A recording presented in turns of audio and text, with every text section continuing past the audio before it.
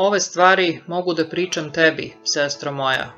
Ovako ne bih mogla da govorim čak ni osobi iz mog naroda, jer ne bi mogla razumeti daleke zemlje u kojima je moj muž 12 godina živeo.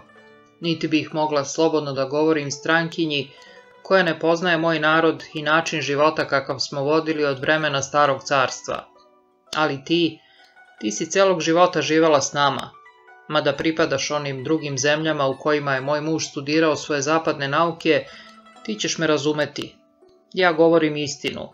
Nazvala sam te mojom sestrom. Tebi ću reći sve.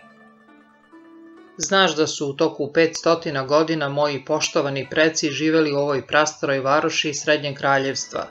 Niko od tih uzvišenih ljudi nije bio modern, niti je imao želje da se promeni. Živeli su u miru i dostojanstvu, uvereni u svoju ispravnost. Tako su me roditelji odgajali u duhu tih poštovanih tradicija. Nisam ni sanjala da bih mogla poželeti da budem drugačija. Ne razmišljajući o tome, izgledalo mi je da su svi bili onakvi kakva sam i ja bila. Ako sam i načula, kao iz kakve daljine, izvan dvorišnih zidova, o ženama koje nisu bile kao ja, o ženama koje su dolazile i odlazile slobodno kao ljudi, nisam se na njih ni osvrtala, Išla sam, kao što su me i naučili, utabanim stazama predaka.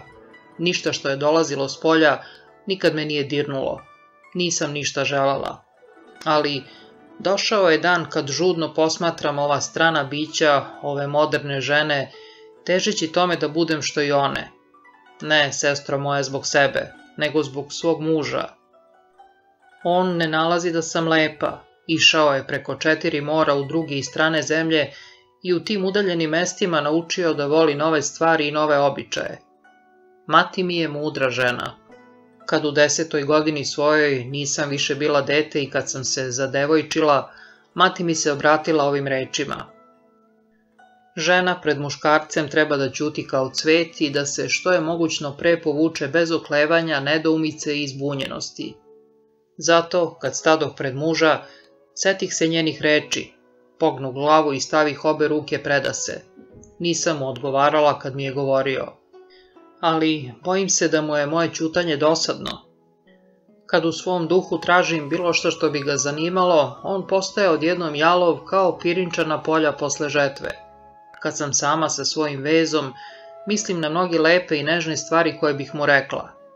Rekla bih mu da ga volim, Imaj na umu da to ne bi bilo rečeno smelim rečima kao na grabljivom zapadu, već rečima prikrivenim kao što su ove. Gospodaru, jesi li primetio danas kako je nastala zora? Izgledalo je kao da je sumorna zemlja poskočila u susret suncu. Mrak, zatim snažno uzdizanje svetlosti kao pljusak muzike. Dragi moj gospodaru, ja sam tvoja sumorna zemlja koja čeka. Ili ove, kad uveče jedri po lotosovom jezeru. Šta bi bilo kad bleda i sumorna voda ne bi osjetila kako je mesec privlači? Šta bi bilo kad njegova svetlost nikad ne bi dodirnulo i oživela talas? O, gospodaru, čuvaj se i vrati mi se zdrav, da ne bih bila bleda i tužna bez tebe. Ali, kad uđe on sa čudnim stranim modelom na sebi, nemam snage da izgovorim te reči. Zar je moguće da sam udata za stranca? Njegove reči su malobrojne i nemarno izgovorene, a njegov pogled preleće suviše brzo preko mene, mada sam obučena u saten boje breskve i imam bisere u kosi. Zbog toga sam tužna. Jedva mesec dana sam udata, a nisam lepa u njegovim očima. Tri dana sam razmišljala, sestro moja. Moram da upotrebim lukavstvo i potražim načina da privučem pogled svog muža. Zar ja ne potičem iz mnogih pokolenja žena koje su našle ljubav u očima svojih gospodara. Nije bilo ni jedne druge koje je nedostajalo lepote, osim jedne, a ta je Kvej Mei iz doba Sunga, koju su, kad je imala tri godine, nagrdile male boginje. Ipak je zapisano da je čak i ona imala oči kao crno drago kamenje i glas koji bi zatalasao ljudska srca kao vetar stabljike bambusa u proleće. I njen muž, mada je shodno svom bogatstvu i položaju imao šest milosnica, Nijednu od njih nije volao tako kao što je voleo nju. A moja pretkinja Yang Wei Fei, Ona koja je na ruci nosila belu pticu držala je i samo carstvo na svojim namirisanim dlanovima jer je car, sin neba, bio zanesen njenom lepotom. Zato ja, posljednja među tim časnim ženama, moram imati njihove krvi u svoje krvi i njihove kosti u svojim kostima. Pogledala sam se u bronzanom ogledalu. Kad ti kažem da ima drugih ne tako lepih kao ja, ne kažem to zbog sebe, već zbog njega. Vidim da je u mojim očima jasno odvojeno belo od crnoga. Vidim da su mi uši male i priljubljene uz glavu, tako da minđuša od žada i zlata vise blizu obraza i vrata. Vidim da su mi usta isto tako mala, a i da prave lepu krivinu na mom ovalnom licu. Samo bih želela da nisam tako bleda i da mi se linije obrva pružaju za osminu palca dalje ka slepočnicama. Bledilo popravljam s malo rumenila koje dlanovima utrljavam na obraze. Četkicom zamočenom u crnu boju doterujem obrve. Tada sam dovoljno lepa i spremna za njega. Ali onog trenutka kad njegov pogled padne na mene, primećujem da ne zapaža ništa, ni usne, ni obrve. Misli mu lutaju preko zemlje, preko mora, svuda, samo ne tamo gde ja stojim i čekam ga.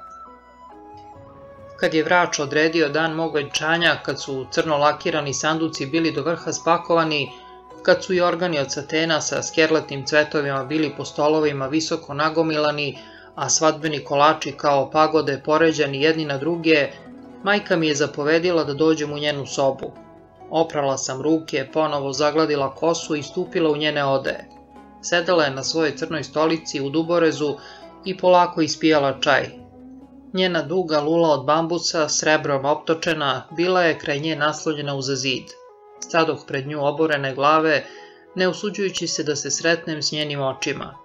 Ipak sam osjećala kako oštri pogled pokriva moje lice, moje telo, moje noge. Prodirao mi je kroz tišinu u samo srce. Najzad mi naredi da sednem. Igrala se semenkama od lubenice iz činije pored sebe na stolu, a lice joj je bilo mirno sa uobičajenim izrazom nedokučive tuge. Moja mati je bila mudra. Kvejlan, kćeri moja, otpoče ona. Udaćeš se za čoveka za koga si bila verena još pre nego što si se rodila. Tvoj i njegov otac su bili prijatelji, bliski kao braća. Zaklali su se da će se sjediniti preko svoje dece. Tvoj verenik je imao tada šest godina. Ti si se te godine rodila. Tako je tvoja sudbina određena. Odgajana si u tom cilju. Za svih ovih sedamnaest godina tvog života imala sam na umu ovaj čas tvoje udaje. Pri svemu čemu sam te učila, imala sam u vidu dve osobe. Majku tvog muža i tvoga muža. Zbog nje sam te naučila kako da spremaš i poslužiš čaj starijoj osobi, kako da stojiš u prisustvu starijeg, kako da slušaš čutke dok stariji govori, bilo da hvali ili da kudi. Naučila sam te da se u svemu pokoravaš kao što se cveti, suncu i kiši podjednako pokorava. Za tvoga muža naučila sam te kako da se ukrasiš, kako da mu govoriš pogledom i izrazom lica, ali bez reči, kako da... Ali to ćeš razumeti kad taj čas dođe i kad budeš nasamo s njim. Zato si dobro upućena u sve dužnosti otmene žene. Naučila si da spremaš poslastice i fina jela, tako da možeš dovesti u iskušenje muževljiv apetit i privući pažnju njegovih misli na tvoju vrednost. Nikada nemoj posustati da ga razonođuješ svojom dovitljivošću u gotovljenju jela. Ponašanje i običaj aristokratskog života, kako da se sastaneš s onima koji su iznad tebe i kako da ih napustiš, kako da govoriš s onima koji su ispod tebe, kako da uđeš u nosiljku, kako da pozdraviš njegovu majku u prisustvu drugih, te stvari znaš. Ponašanje domaćice, finoća osmeha, veštine ukrašavanja kose dragim kamenjem i cvećem, mazanje usana i noktiju, upotreba mirisa, veština nošenja cipela na malim stopalima, ah, ta tvoja stopala i sve one suze kojima su plaćena. Ali, ne znam ni za jedna tako mala među tvojim vršnjakinjama i moja su bila jedva nešto manja u tvojim godinama. Nadam se samo da je porodica Li obratila pažnju na moje poruke i vezala isto tako čvrsto stopala svoje kćeri, verenice tvoga brata, a mog sina. Pribojavam se zbog toga, jer čujem da je ona učila iz četiri knjige, a kod žena učenost nikad nije drugovala s lepotom. Moram ponovo da uputim posredniku koju reč o toj stvari. Što se tebe tiče, dete moje, ako te moja snaha bude dostojna, neću se odveć žaliti. Naučila si da sviraš na onoj staroj harfi po čijim su žicama svirala pokolenja naših žena za uživanje svojih gospodara. Tvoji prsti su vešti, a nokti su ti dugi. Čak si naučila i najčuvenije stihove starih pesnika i umeš da ih slatko pevaš uz harfu. Ne vidim kako bi čak i tvoja svekrva našla bilo šta što bi nedostajalo mom delu, osim ako ne uspeš da rodiš sina. Ali otići ću u hram i predaću boginji kakav dar ako bi prošla prva godina i da ne postaneš majka. Krv mi je udarila u obraze. Ne sećam se vremena u kući mojih roditelja kad nisam znala za rađanje i materinstvo. Želja za sinovima u domaćinstvu kao što je naše, u kojem je moj otac imao tri milosnice čije su jedine brige bile za čeće i rađenje dece, bila isuviše obična i nije ličila na tajnu. Ipak pomisao da ću začeti i rađati. Majka nije čak ni primetila moje zažarene obraze. Sedela je udubljena u svoje misli i ponovo se stala igrati semenkama od lubenica. Ima samo jedna stvar, završi ona na posledku. Bio je u stranim zemljama, čak i studirao stranu medicinu. Ne znam, ali dovoljno je za sad. Vreme otkriva sve. Možeš ići. Ne pamtim kad je moja majka izgovorila toliko reči, sestro moja.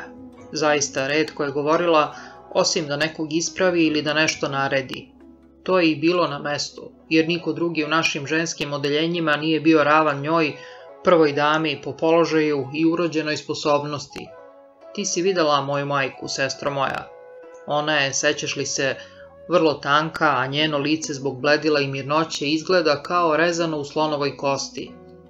Čula sam kako se priča da je u mladosti, pre nego što se udala, imala vrlo lepe obrve, kao leptirice i nežne usne koralne boje poput pupoljaka dunjinog drveta. Čak i sada njeno lice, mada je mršavo, sačuvalo je čist ovalni oblik kao na portretima žena iz starog vremena.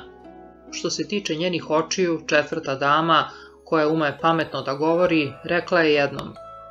Oči prve dame su tužno drago kamenje, pravi crni biseri i umiru jer su upoznale previše tuge. Ah, moja majka. Nije bilo nikoga dostojnog nje u mom detinstvu. Razumela se u mnoge stvari i kretala se u običajenim, mirnim dostojanstvom, zbog čega su milosnice i njihova deca u njenom prisustvu bili bojažljivi. Iako je služavke nisu volele, ipak su je se divile. Često sam ih slušala kako gunđaju zato što nisu mogle ukrasti ni otpadke u kuhinji, a da ona to ne primeti. Ipak ih glasno nikad nije grdila kao što su to radile milosnice kad su bile ljute. Za ponašanje koje je zasluživalo prekor, malo bi reči prešlo preko majčinih usana, ali te reči bile su naoružane prezirom i padale su na krivca kao oštar led. Prema bratu i meni bila je ljubazna, a ipak ozbiljna i uzdržana, što i priličilo njenom položaju u porodici – Od šestoro dece, četvoro je bilo oduzeto svirepošću bogova i zato je bio još više važan jedini sin, moj brat. Čim je mom ocu podarila živog sina, više nije imao nikakvog zakonskog osnova da se žali na nju.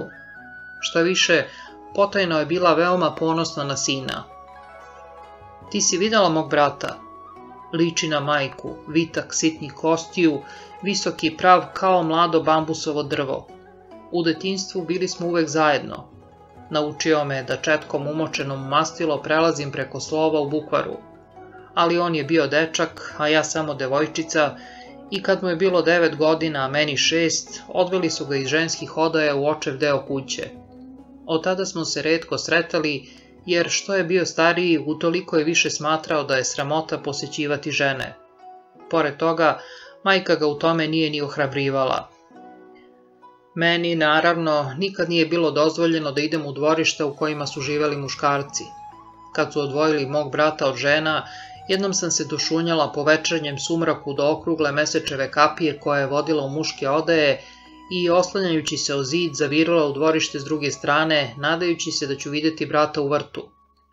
Ali videla sam samo sluge kako se užurbano vrte tamo amo sa činijama iz kojih se jelo pušilo. Kad bi otvorili vrata koje su vodile u očeve odaje, otuda bi dopro glasan smeh i s njim pomešano tanko i visoko pevanje ženskog glasa, a čim bi se teška vrata zatvorila, u vrtu bi zavladala tišina. Dugo sam stajala slušajući smeh onih koji su se gostili, pitajući se zamišljeno da li je i moj brat tamo usred tog veselja, kad odjednom osjetih kako me neko oštro povuče za ruku. Wang Da Ma, glavna služavka moje majke, povika. Reći ću tvoje majci ako te opet vidim ovde. Ko je još video devojčicu koja je zaviruje kod muškaraca? Od stida se nisam usudila da izustim ništa drugo sem izvinjenja. Samo sam tražila brata. Ona mi odrati odlučno. I tvoj brat je sada muškarac. Redko sam ga viđala, ali čula sam da je voleo da uči i da je brzo savladao četiri knjige i pet klasika, tako da mu je otac najzad uslišio molbu i dozvolio da ode u stranu školu u Peking. U vreme moje udaje studirao je na Narodnom univerzitetu u Pekingu, a u pismima koje je slao kući tražio je da mu se dozvoli da ide u Ameriku. U početku moji roditelji nisu hteli ni da čuju za tako što, niti je majka ikad pristala na to. Ali otac nije volao neprijatnosti i videla sam da će na kraju moj brat možda moljakanjem pobediti. Za vreme dva raspusta koja je proveo kod kuće pre nego što sam ja otišla, govorio je mnogo o nekakvoj knjizi koju je nazivao Nauka. Majka je mislila da će to doneti nesreću, jer nije mogla vidjeti nikakve koristi od te zapadne nauke u životu jednog kineskog otmenog čoveka.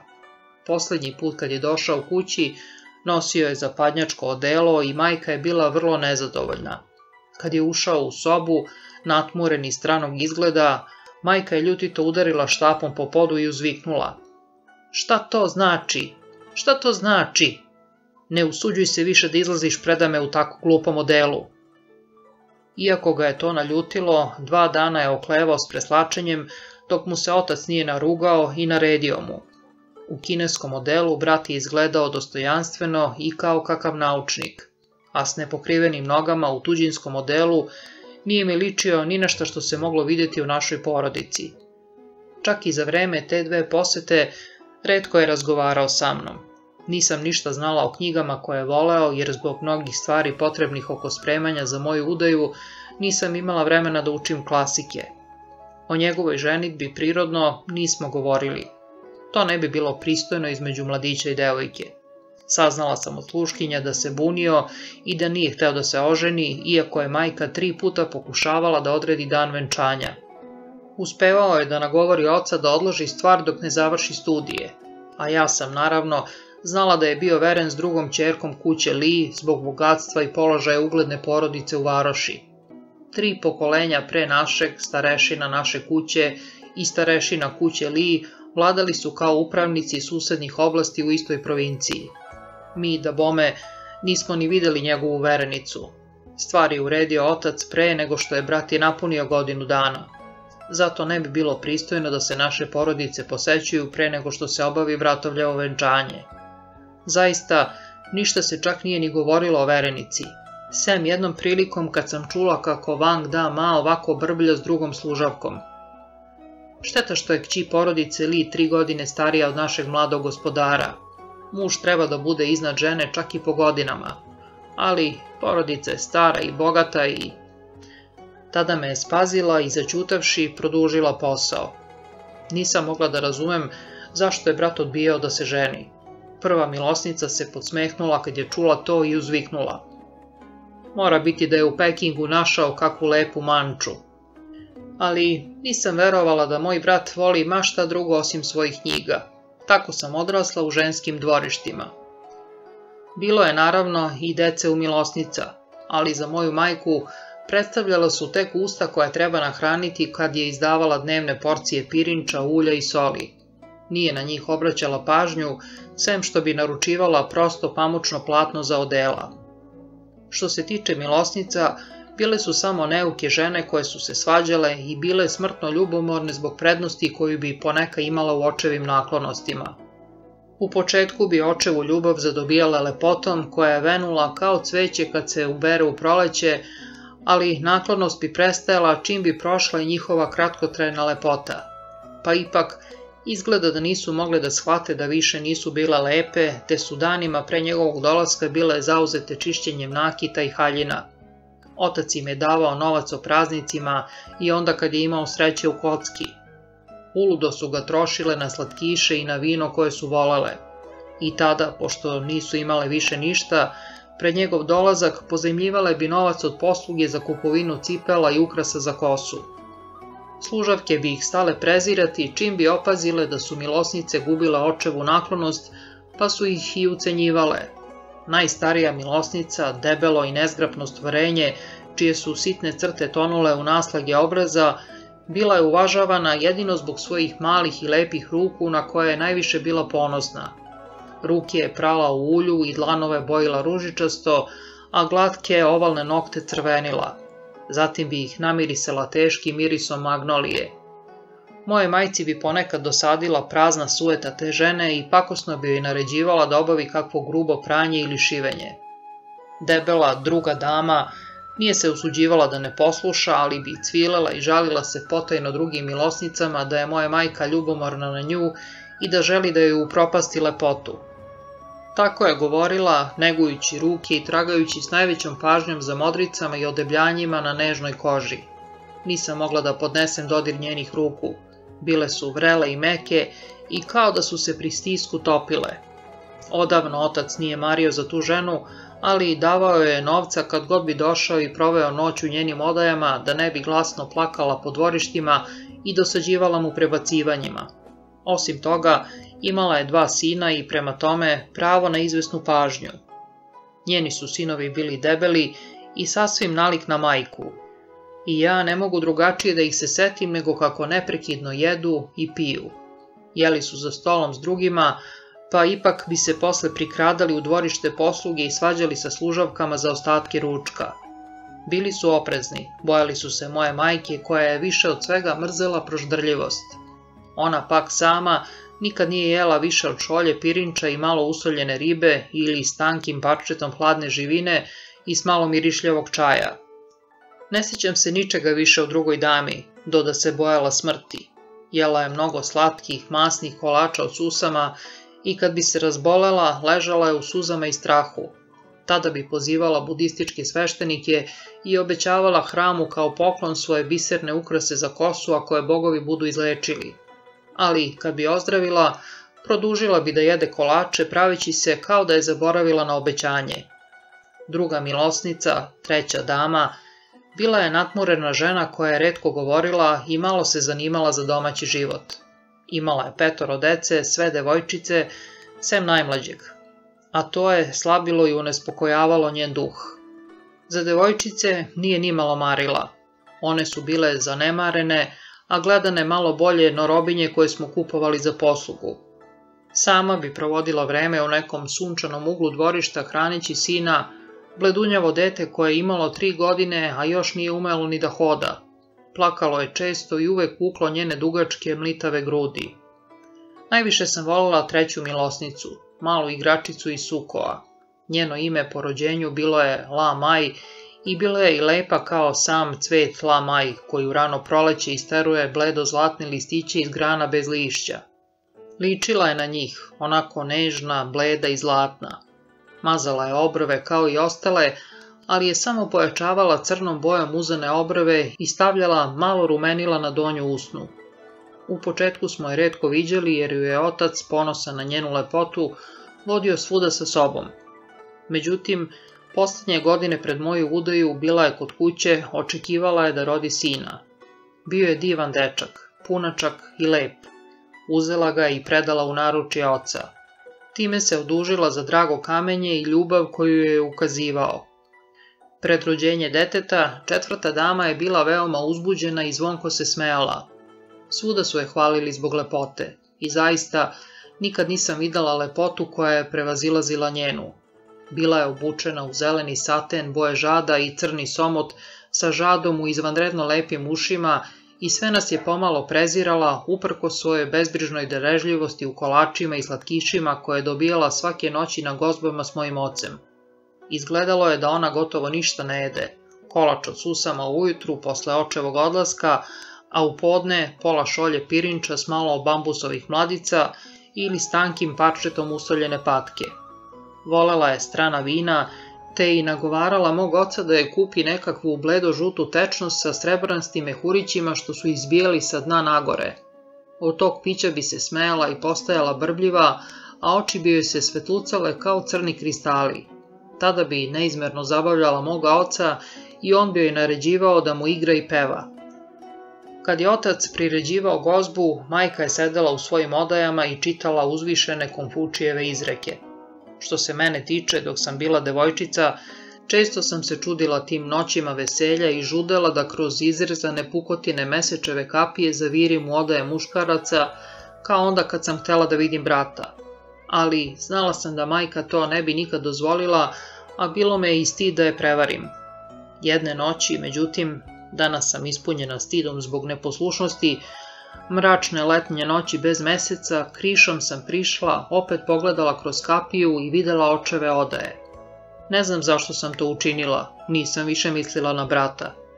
Zbog neke čudne, nejasne želje koja me su beše ispunila, bila sam nemirna celog tog vrućeg dana, te kad je došla noć puna topline i tame i teškog mirisa lotosovih cvetova, tišina naših ženskih soba izgledala mi je kao kakva stvar mrtva sama po sebi. Srce mi je jako kucalo dok sam posmatrala. Vrata su bila širom otvorena, a svetlost iz stotinu lampi prodirala je u vreo nepomičan vazduh. Unutra sam ugledala ljude kako sede za četvrtastim stolovima, kako jedu i piju, dok je posluga sjelima užurbano išla tamo amo. Iza stolice svakog muškarca stajala je po jedna devojka vitka kao loza, ali jedina žena za tim stolom bila je Lamej. Mogla sam je vidjeti sasvim jasno kad bi se okrenula kao ocu malo nasmešenog lica koje je sijalo kao cvet s voštanim listićima. Izustila je nešto tihim glasom, jedva pokrećući usne, a ljudi su prasnuli u urnebesni smeh. Njen osmeh je ostao nepromenjen, slabačak prefinjen. Ovoga puta majka me je lično uhvatila. Redko je napuštala kuću, ali vrelina te noći izgnala ju je napolje i njene oštre oči me odmah spaziše. Naredila mi je da se odmah povučem u svoju sobu. Udarila me oštro pod lanovima sklopljenom lepezom od bambusa, zapitavši me prezrivo da li sam želela da gledam bludnice na poslu. Postiđena, zaplakala sam. Sutradan je naredila da se na mesečevu kapiju postave neprozirne rešetke od školjaka i ja nikad više nisam virila ali majka nije bila ništa manje ljubazna prema četvrtoj dami. Služavke su je glasno hvalile zbog te uzdržanosti, mada bi, mislim, druge milosnice bile zadovoljne kad bi je videle svirepu kakva je prva dama mogla često da bude prema drugima. Kad je rodila dete, četvrta dama je mislila da će moj otac naravno opet voditi sa sobom. Sama nije dojila dete da ne bi narušila svoju lepotu. Umesto toga, Dala ga je jednoj snažnoj robinji, čijem detetu, jednoj devojčici, naravno nije bilo dozvoljeno da živi. Ta je robinja bila debela žena ružnih usta, ali dečačić je cele noći spavao na njenim grudima uz njeno telo, a celog dana bio je u njenom naručju. Njegova mati mu je posvećivala malo pažnje, osim što bi ga svečanim danima oblačila u crveno i obuvala mu cipelice s mačijom glavom i provodila koji trenutak u igri s njim. Čim bi dete zaplakalo, nestrpljivo bi ga gurnula u naručje robinje. Dečak joj nije pružao dovoljnu vlast nad mojim ocem. Iako mu se zakonski bila odužila, morala je svakog dana da pronalazi vešte planove kako da zagospodari njegovim čulima, kao što su naše žene uvek morale da rade. Nije više bila tako lepa kao pre rođenja deteta. Njeno glatko, biserno lice bilo je upalo taman toliko da je oduzme nežnu mladost. Oblačila se u haljinu zelene boje kao žad, stavljala minđuše u uši i smejala se zvonkim smehom. Otac je izgledao zadovoljan njome kao i uvek, samo kad je krenuo na put nije je poveo. Strašno je bilo videti njeno čuđenje i bes. Druge milosnice potajno su se radovale i smeškale se pretvarajući se da je teše. Tada je moja majka prema njoj bila ljubaznija no obično. Čula sam kako Wang Da Ma ljutito mrmlja. Da bome, sad ćemo imati da hranimo još jednu besposlenu ženu. Ova mu je već dosadila. Od tog vremena četvrta dama je počela da vene.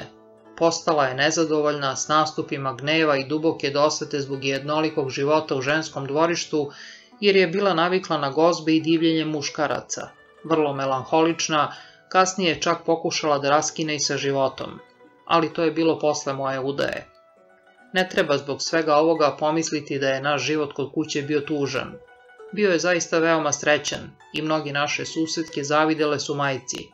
Otac ju je svakda poštovao zbog inteligencije i sposobnosti da upravlja njegovim poslovima. Ona mu pak sa svoje strane nikad i ni za šta nije prebacivala. Tako su živeli u dostojanstvu i miru.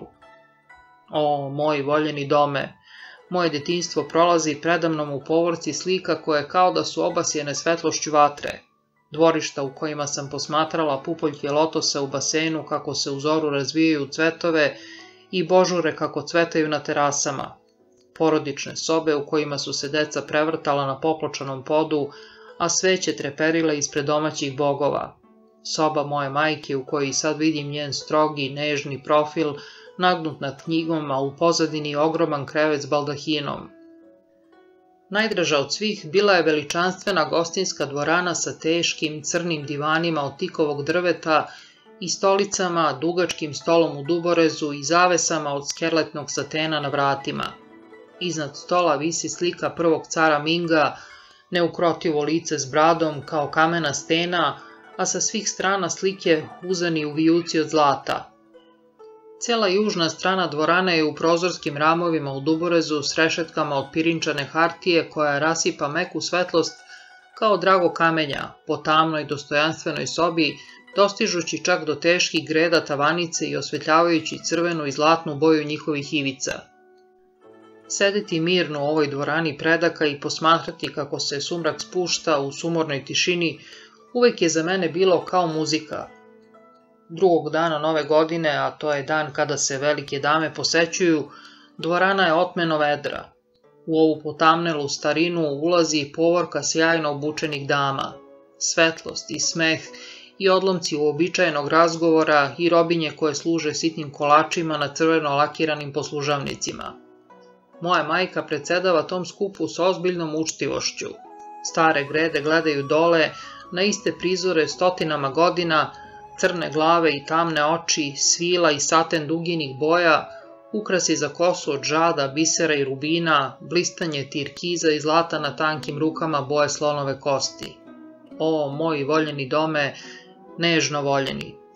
Vidim sebe, malu svečanu figuru koja drži brata za ruku. Stojim u dvorištu kraj vatre na kojoj će se spaliti kuhinski bogovi. Stavljen im je med na usne od hartije, da bi se popeli na nebo sa slatkim rečima i da bi tako zaboravili da pričaju u onom vremenu kad se posluga svađala i krala jela iz činija. Ispunjeni smo strahopoštovanjem pri pomisli na te glasnike koji putuju u udaljena i nepoznata mesta. Ne govorimo. Vidim sebe na zmajevoj svečanosti u svojoj najboljoj prazničnoj haljini od ružičaste svile izvezene šljivovim cvetovima, jedva u stanju da sačekam veče kad će me brat odvesti da vidim zmajev brod na reci. Vidim lotosovu svetiljku koja se ljulja i koju mi daje moja stara dadilje na praznik svetiljki. Smeje se mom uzbuđenju kad padne noć i kad mogu da upalim crvenu sveću što se dimi. Vidim sebe kako polako pored majke ulazim u veliki hram. Gledam je dok stavlja tamjan u urnu. Puna strahopoštovanja, klečim pored majke pred Bogom.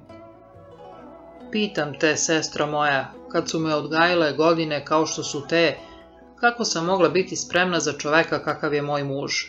Sve moje vrline ništa ne pomažu. Smišljam u tajnosti kako ću obući plavi svilini kaput sa crnom dugmadi vešto izrađenom u srebru. Zadenuću jasminu kosu, a obuti špicaste crne satinske cipele izvezene plavim. Pozdravit ću ga kad uđe ali njegov pogled brzo beži na druge stvari, na pismo na stolu, na knjigu. Ja sam zaboravljena. U mom je srcu grčevita strepnja. Sećam se dana koji je prethodio mom venčanju. To je bio dan kad je majka sama, lično, brzo napisala dva pisma, jedno mom ocu, a drugo moje budućoj svekrvi i u velikoj žurbi ih poslala po starom vrataru. Nikad je nisam videla tako uznemirenu. Tog dana čula sam kako služavke šapću da je moj verenik želeo da raskine veritbu zato što sam bila neškolovana i imala uvezana stopala. Briznula sam u plač, a služavke su se uplašile i klele su se da to nisu o meni govorile, već o debeloj drugoj kćeri gospođe Tao. Danas se sećam toga i u velikom uzbuđenju razmišljam. Zar je moglo biti da je to o meni reč? Služavke su uvek lažljivice, međutim ja nisam neuka. Pažljivo sam bila upućena u sve domaće stvari i u negovanje svoga tela. Što se tiče mojih stopala, niko sigurno ne bi mogao više voleti ogromne, grube noge kao u kćeri kakvog seljaka. Nije to bilo reči o meni, ne može biti da su to meni govorile. Kad sam se oprostila s roditeljskim domom i ušla u veliku crvenu nosiljku da me odnesu u muževljivoj kući, ni sanjala nisam da mu se neću dopasti. Što se mene tiče, sećam se, bila sam srećna zbog toga što sam niska i sitno građena, s ovalnim licem koje su drugi voleli da gledaju. Bar u tome se neće razočarati. Za vreme obreda s vinom, krišom sam ispod crvenih svilinih niti vela bacila pogled na njega. Videla sam ga kako stoji u krutom, crnom, tuđinskom modelu. Bio je visok i prav kao mlado bambusovo drvo.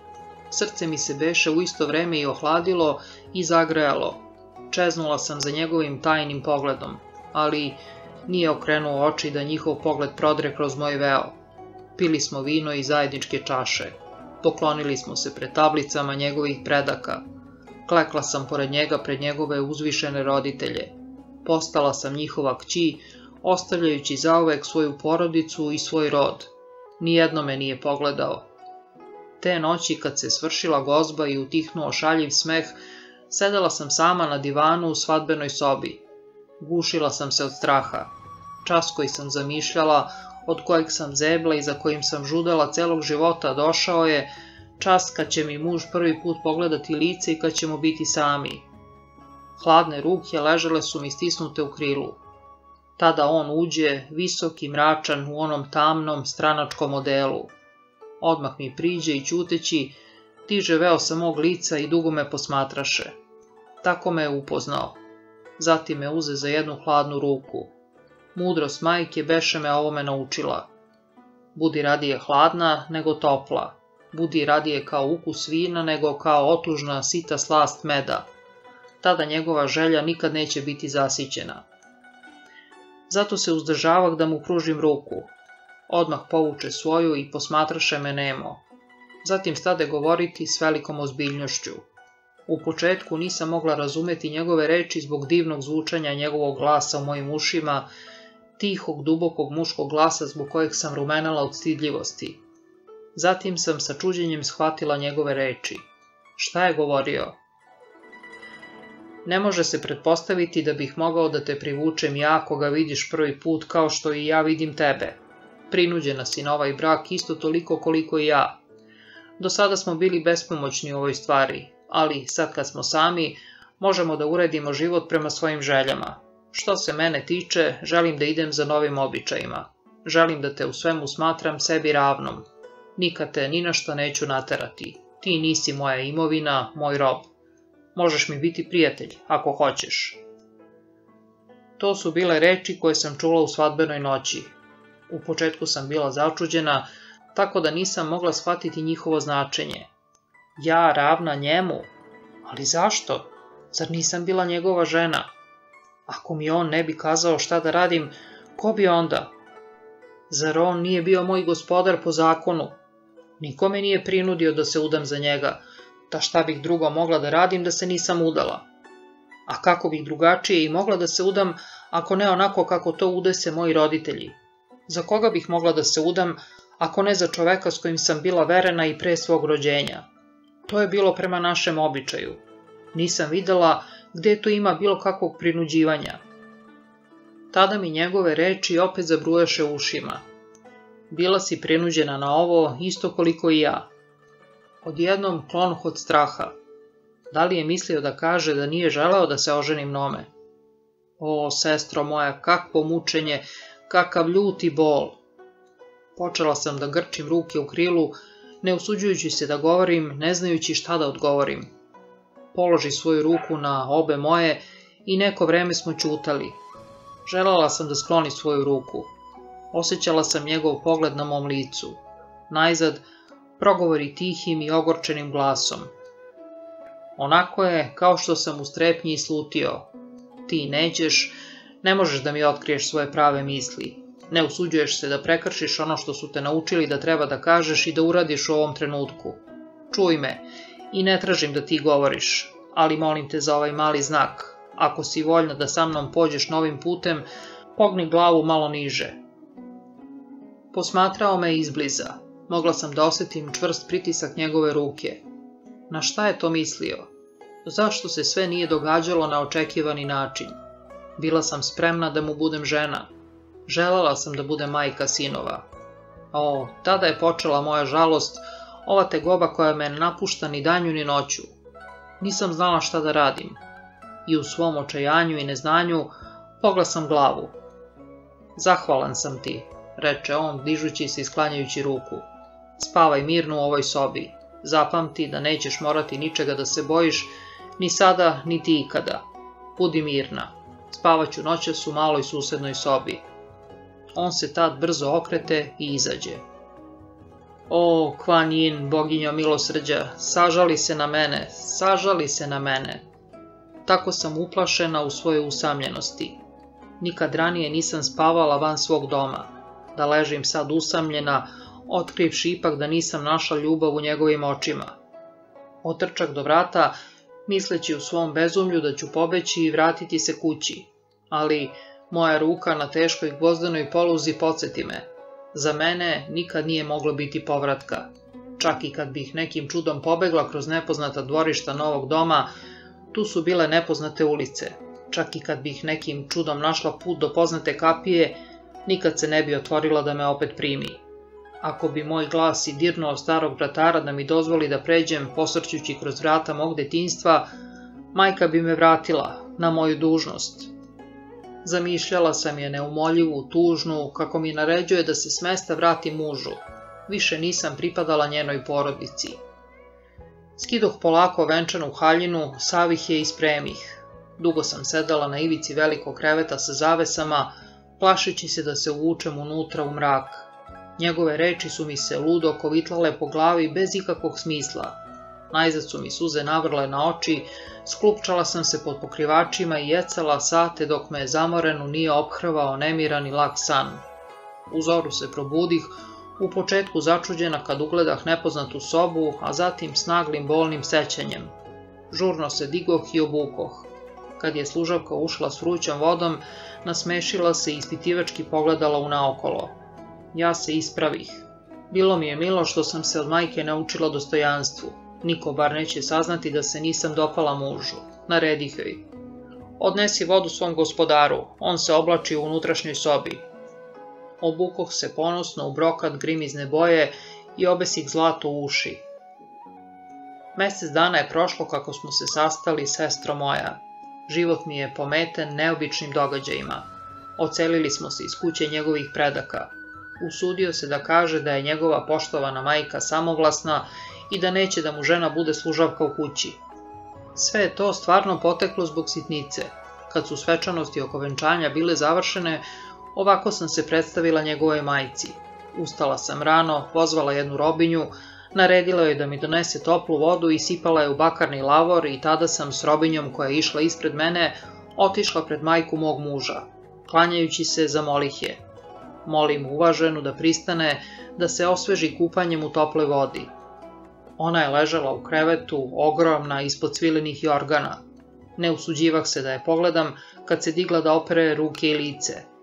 Obavivši to, pokazala mi je bez reči da treba da sklonim lavor i da se povučem. Ne znam da li sam rukom zakačila teške svilene zavese kreveta ili mi je uplašeno i zadrtala ruka, ali kad sam podigla lavor, nakrivio se i malo vode se prosulo po krevetu. Osetila sam kako mi se krv sledila od straha. Sve krva je povikala ljutito promuklim glasom. Eto ti sad, kakva je to snaha? Znala sam da ne smem ni izvinjenje da izustim. Stoga se okrenuh i nosići lavor nesigurno zbog suza koje su mi mutile vid, udaljih. Kad izađoh na vrata, Moj muž je prolazio te primetih da je zbog nečega bio ljut. Bojala sam se da će me grditi što se prvom prilikom nisam dopala njegovoj majci. Nisam mogla dići ruke da obrišem suze, a osjećala sam ih kako se skupljaju i naviru i klize mi niz obraze. Promrmlja glupo kao kakvo dete. Lavor je bio klizav, ali on me prekide. Ja te ne grdim, neću više da moja žena radi posao služavke, moja mati ima stotinu robinja. Pokušak tada da mu kažem da sam želala da ukažem njegovoj majci dužnu poslušnost. Majka me je brižljivo naučila svim tim pažnjama koje snaha duguje majci svog muža. Ustajem učtivo i ostajem stojeći u njenom prisustvu. Vodim je do najpočasnijeg sedišta, ispiram njenu šolju za čaj, polako sipam sveže natopljen zeleni čaj i pažljivo joj ga pružam obema rukama. Ne smem ništa da je odbijem. Moram da je volim kao svoju rođenu majku, a njene prekore, ma kako bili nepravični, moram da podnosim čutke. Ali njegova odluka bila je čvrsta, nije obraćao pažnju na ono što sam govorila. Ne treba misliti da je promjena lako izvršena. Roditelji su mu čak naredili da po starinskom običaju ostane u kući predaka. Otac mu je naučnik, honizak i slab, pogrobljen od učenosti. Sedeći desne strane stola u sobi za odmor ispod tablica predaka, pogladio je tri puta redku belu bradu i rekao Sine moj, ostani u rodnoj kući. Što je moje, to je i tvoje. Ovde ima u izobilju i hrane i mesta. Ne moraš nikada trošiš telo fizičkim radom. Provodi dane u dostojanstvenoj dokolici i studiranju koje ti čini zadovoljstvo. Dopusti njoj, snahi tvoje uvažene majke, da rađa sinove. Tri generacije ljudi pod jednim istim krovom prizor je koji se sviđa nebu. Moj muž je nagao i nestrpljiv. Ne zaustavljajući se ni da se pokloni ocu, uzviknu. Ali ja želim da radim, oče. Obučen sam u jednom naučničkom pozivu najplemenitijem u zapadnom svetu. Što se tiče sinova, oni nisu moja prva želja. Želim da rađam plodove svoga uma za dobro svoje zemlje. I običan pas može da napuni zemlju plodovima svoga tela. Sama sam lično, vireći kroz plave zavese na vratima, čula kako sin ocu tako govori i to me je ispunilo užasom. Da je bio najstariji sin ili da je bio vaspitan po starim običajima, nikad se ne bi mogao odupreti ocu. Godine provedene daleko u onim zemljama gde mladi ne poštuju stare, učinile su ga nepažljivim sinom. Istina, izgovorio je učtive reči rastajući se s roditeljima. Obećao im je da će uvek sačuvati prema njima sinovljevo srce. Ali ipak, ocelili smo se. Ova kuća ne liči ni na što što sam do sad videla. Nema dvorišta, ima samo jedno malo četvrtasto predsoblje iz kojeg se ide u druge sobe i iz kojeg se naglo dižu stepenice. Prvi put kad sam se pela tim stepenicama, bojala sam se da ću pasti zbog okomitosti na koju mi noge nisu navikle. Stoga sam sela i klizala se sa stepenika na stepenik, držeći se za drvenu ogradu. Kasnije primetila sam da je malo sveže boje ostalo na mom kaputu i požurih da se presvučem da me muž ne bi za tu mrlju pitao i podsmevao se mom strahu. On se smeje brzo i naglo i glasno. Bojim se njegovog smeha. Što se tiče nameštaja, nisam znala kako da ga smestim u takvoj kući. Nije bilo mesta ni za šta. Donela sam iz majčine kuće kao deo miraza, stoji stolice od teškog tikovog drveta i krevet veliki kao majčin bračni krevet. Moj muž je ponameštao stoji stolice u sporednoj sobi koju naziva sobom za ručavanje, a veliki krevet za koji sam mislila da će biti mesto rođenja mojih sinova, ne može čak ni da se unese ni u jednu od malih gornjih soba. Spavam na krevetu kao kakva služavka, a muž spava u drugoj sobi na gvozdenom krevetu uzanom kao klupa. Ne mogu da se priviknem na to mnoštvo čudnih stvari. U glavnoj sobi ili, kako on veli, salonu, poređao je stolice koje je sam pokupovao. To su neobične, nezgrapne stvari, nimalo slične među sobom, a neki su čak napravljeni i od trske. Nasred te sobe metnuo je mali sto, a na njega čaša od svile i preko njega knjige. Ružno. Na zidove je obesio uramljene fotografije školskih drugova i četvrtasto parče filcanog štofa sa tuđinskim slovima na njemu. Upita ga da li mu je to diploma, a on se na to mnogo smejao. Zatim je pokazao svoju diplomu. To je komad istegnute kože, ispisan čudnim crnim slovima. Pokazao mi je svoje ime sa iskrivljenim znacima. Prva dva su označavala njegov veliki koleđ, a druga dva lekarsku spremu u zapadnjačkoj medicini. Upitao ga da li su ti znaci bili po stepenu ravni našim starim Han Lan, a on se opet nasmeja i reče da se to ne može porediti. Ova diploma je uramljena i u staklu i visi na počasnom mestu na zidu gde je u gostinskoj dvorani u kući moje majke veličanstvena slika starog cara Minga. Ah, ova strašna zapadnjačka kuća. Kako se mogu, pomislih, ikad osjećati u njoj kao u svom domu. Prozori imaju velika okna od čistog stakla, umesto rešetaka u duborezu s neprozirnom pirinčanom hartijom. Jaka sunčana svetlost blešti po belim zidovima i plaši svako zrnce prašine na nameštaju. Nisam navikla na ovu nemilosrdnu svetlost. Ako usne obojim crveno i naprašim čelo puderom od pirinča, kao što su me naučili da radim, ova svetlost to tako istakne da moj muž obično kaže Nemoj se, molim te, tako mazati zbog mene. Ja više volim da žene izgledaju prirodno. A ipak, ne upotrebiti mek puder i toplo rumenilo, zar to ne znači ostaviti nedovršene istaknute znake lepote? To je kao kad bih bila uverena da je kosa očešljana bez završnog mazanja uljem ili kad bih obula cipele bez veza. U kineskoj kući svetlost je zamračena rešetkama i duborezom, te zato blago pada na ženska lica. Kako mogu u ovakvoj kući biti lepa u njegovim očima? Pa čak i ovi prozori su glupi. Moj muž je kupio belu tkaninu i rekao mi da napravim zavese, a ja sam se čudila kako to da se prvo napravi rupa u zidu, zatim umetne staklo, pa tek onda da se to staklo zastire tkaninom. Što se tiče podova, od drveta su i pri svakom koraku stranačke cipele moga muža lupkaju i natrag i napred. Potom je kupio nekakav vuneni materijal sa velikim cvetovima i zastro podove u velikim kvadratima. Tome sam se mnogo začudila. Bojala sam se da ćemo ga isprljati ili da će posluga da zaboravi i da pljune na njega. Mnogo se ljutio kad sam to rekla i na kraju je dodao da nećemo dozvoliti da se pljuje po podu. A gde onda ako ne na pod, upitah. Napolju, ako baš mora da bude, odgovorio je kratko. Ali to je bilo vrlo teško za poslugu, pa i ja bih ponekad zaboravila i ispljunula ljusku semenke od lubenica na taj štof. Posle toga kupio je za svaku sobu malene pljosnate posude i naterao nas da ih upotrebljavamo. Čudno, on upotrebljava maramicu, pa je čak vraća i u džep. Prljav zapadnjački običaj. A ja, ima trenutaka kad bih najradije pobegla, ali ne usuđujem se da pod ovakvim okolnostima izađe majici na oči, a nemam kuda da idem. Dani prolaze jedan za drugim, dugi, osamljeni dani. Jer on radi kao da je radnik primoran da zaradi pirinačko jede, umesto da bude ono što jeste, sin bogatog visokog činovnika. Rano ujutru, čak i pre no što je sunce prikupilo toplotu sredine dana, on ide na posao, a ja do večeri ostajem sama u ovoj kući. U kuhinji su samo tuđe služavke, a mene je sramota da slušam njihovo brbljanje. Ah, teško meni. Ponekad pomislim da bi bilo bolje da služim njegovu majku i da živim u istom dvorištu sa jetrvama. Bar bih čula glasove i smeh.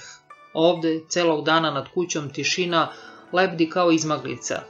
Ostaje mi samo da sedim i pijem, da sanjarim kako da osvojim njegovo srce. Ujutru ustajem rano da bih se spremila za onaj čas kad ću se pojaviti pred njim. Čak i kad sam neispavana zbog uznemirenosti, ustajem rano i umivam lice namirisanom vodom koja se puši, mažem se uljima i mirisima, žudeći da mu neočekivano ujutru osvojim srce. Ali, ma koliko uranila, zatičem ga uvek udubljenog u knjige za stolom. To se svakog dana ponavlja. Tiho se nakašljem i malčice okrenem okruglu kvaku na njegovim vratima. Ah, te čudne, teške kvake, koliko puta sam morala da ih okrećem i opet okrećem da bih naučila njihovu tajnu. Nestrpljive zbog moje nespretnosti i zato se vežbam kad nije tu. Ali, čak i tada, rano ujutru, moji prsti ponekad skliznu po glatkom hladnom porcelanu i u tom času srce mi se stegne kad pokušam da se požurim. Ne voli sporost i kad ide, kreće se tako brzo da se sve bojim da će se povrediti. Ali ne preduzima ništa da bi zaštitio svoje zdravlje. Iz dana u dan, kad mu u hladno jutro pružim vruć čaj, prima ga ne dižući oči sa knjige. Od kakve koristi onda što sam u zoru poslala služavku da kupi svežeg jasmina da ukrasim kosu. Čak ni njegov sjaj ne može da prodre kroz stranice te tuđinske knjige. 11 jutara od 12 kad bih se vratila da vidim je li popio čaj, nalazim da nije ni skinuo poklopac sa šolje, ali stići plivaju neuznemireno po bledoj tečnosti. Ne mari ni za šta drugo do samo za svoje knjige. Razmišljala sam o onome čemu me je mati naučila da bih zadovoljila muža. Pripremila sam ukusnu hranu da bih očarala njegov ukus. Poslala sam slugu da kupi tek zaklano pile i bambusove mladice iz Hang Choa i mandarinsku ribu i isiot i crni šećer i sos od soje. Celo jutro pripremala sam jela, ne zaboravljajući ništa što su mi rekli da će povećati punoću i finoću ukusa. Kad je sve bilo spremno, naredila sam da se ta jela iznesu na kraju obeda, očekujući njegov uzvik. Ah, najbolje je sačuvano za kraj, to je carska hrana. Ali, kad bi ta jela došla, uzimao ih je kao deo obeda, ne pitajući ni za šta. Jedva bi ih i probao i ništa o njima ne bi progovorio. Sedela bih žudno ga posmatrajući, ali on ne bi rekao ništa, kao da su bambusove mladice kupus seljačkog vrta. Te noći, kad je minuo bol zbog mog razočaranja, pomislih. Sve je to zbog toga što to nije njegovo omiljeno jelo. Pošto nikad ne govori šta voli, poslaću koga njegovoj majci da pita šta je u mladosti voleo. Stoga poslah slugu i njegova mati odgovori. Pre nego što je otišao preko četiri mora, voleo je pačije meso jako pečeno i zamočeno u gust sok divljih gloginja, ali kako se mnogo godina hranio varvarskim i napola kuvanim jelima zapadnih naroda, izgubio je ukus i ne mari više za finu hranu. Zbog toga nisam više ni pokušavala. Moj muž ne traži ništa od mene. Nije mu potrebno ništa što bih mogla da mu pružim. Jedne večeri, posle dve nedelje provedene u novoj kući, sedeli smo zajedno u salonu. Kad sam ušla, čitao je jednu od svojih velikih knjiga i ja bacih pogled na sliku na toj strani dok sam išla prema svojoj stolici i videh da je to bio uspravan čovečiji oblik, ali na moje zaprepašćenje bez kože, samo krvavo meso.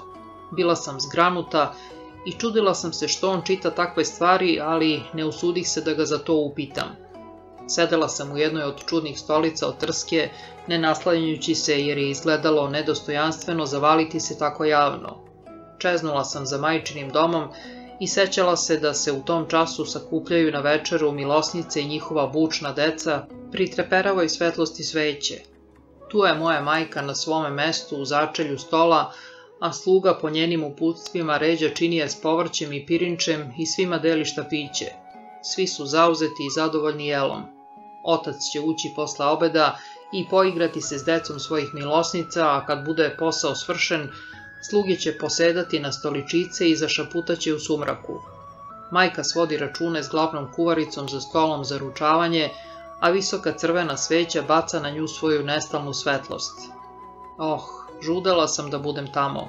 Šetala bih se između cveća i razgledala lotosove mahune da vidim da li je u njima sazrelo semenje.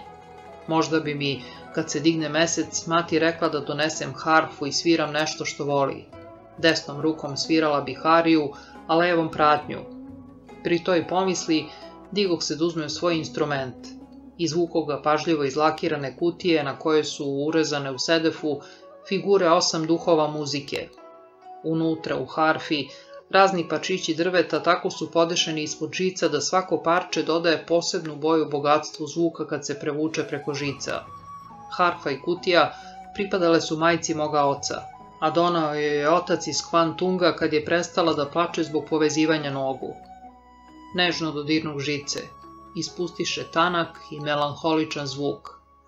Ova je starinska harfa moje porodice i na njoj treba da se svira ispod drveća na mesečini kraj tihe vode. Onda daje sladak i vilinski glas, ali u ovoj tihoj stranoj sobi bila je prigušena i slaba. Oklevala sam, a zatim odsvirah jednu pesmicu iz vremena Sunga. Moj muž podiže pogled. To je vrlo lepo, pohvali me ljubazno. Milo mi je što umeš da sviraš. Jednog dana kupit ću ti klavir i naučit ćeš da sviraš i zapadnjačku muziku. To reče i vrati se čitanju. Posmatrala sam ga dok je čitao onu groznu knjigu i produžila sam da dodirujem žice vrlo nežno, ne znajući šta su svirale. Nisam nikad čak ni videla klavir. Šta bih radila s tom stranom stvari? A onda odjednom više nisam mogla da sviram. Sklonila sam harfu i sedela oborene glave i besposlenih ruku. Posle dugog čutanja, moj muž zatvori knjigu i pogleda me zamišljeno. Kvejlan, progovori on. Srce mi zalupa. To je bilo prvi put da me je nazvao imenom.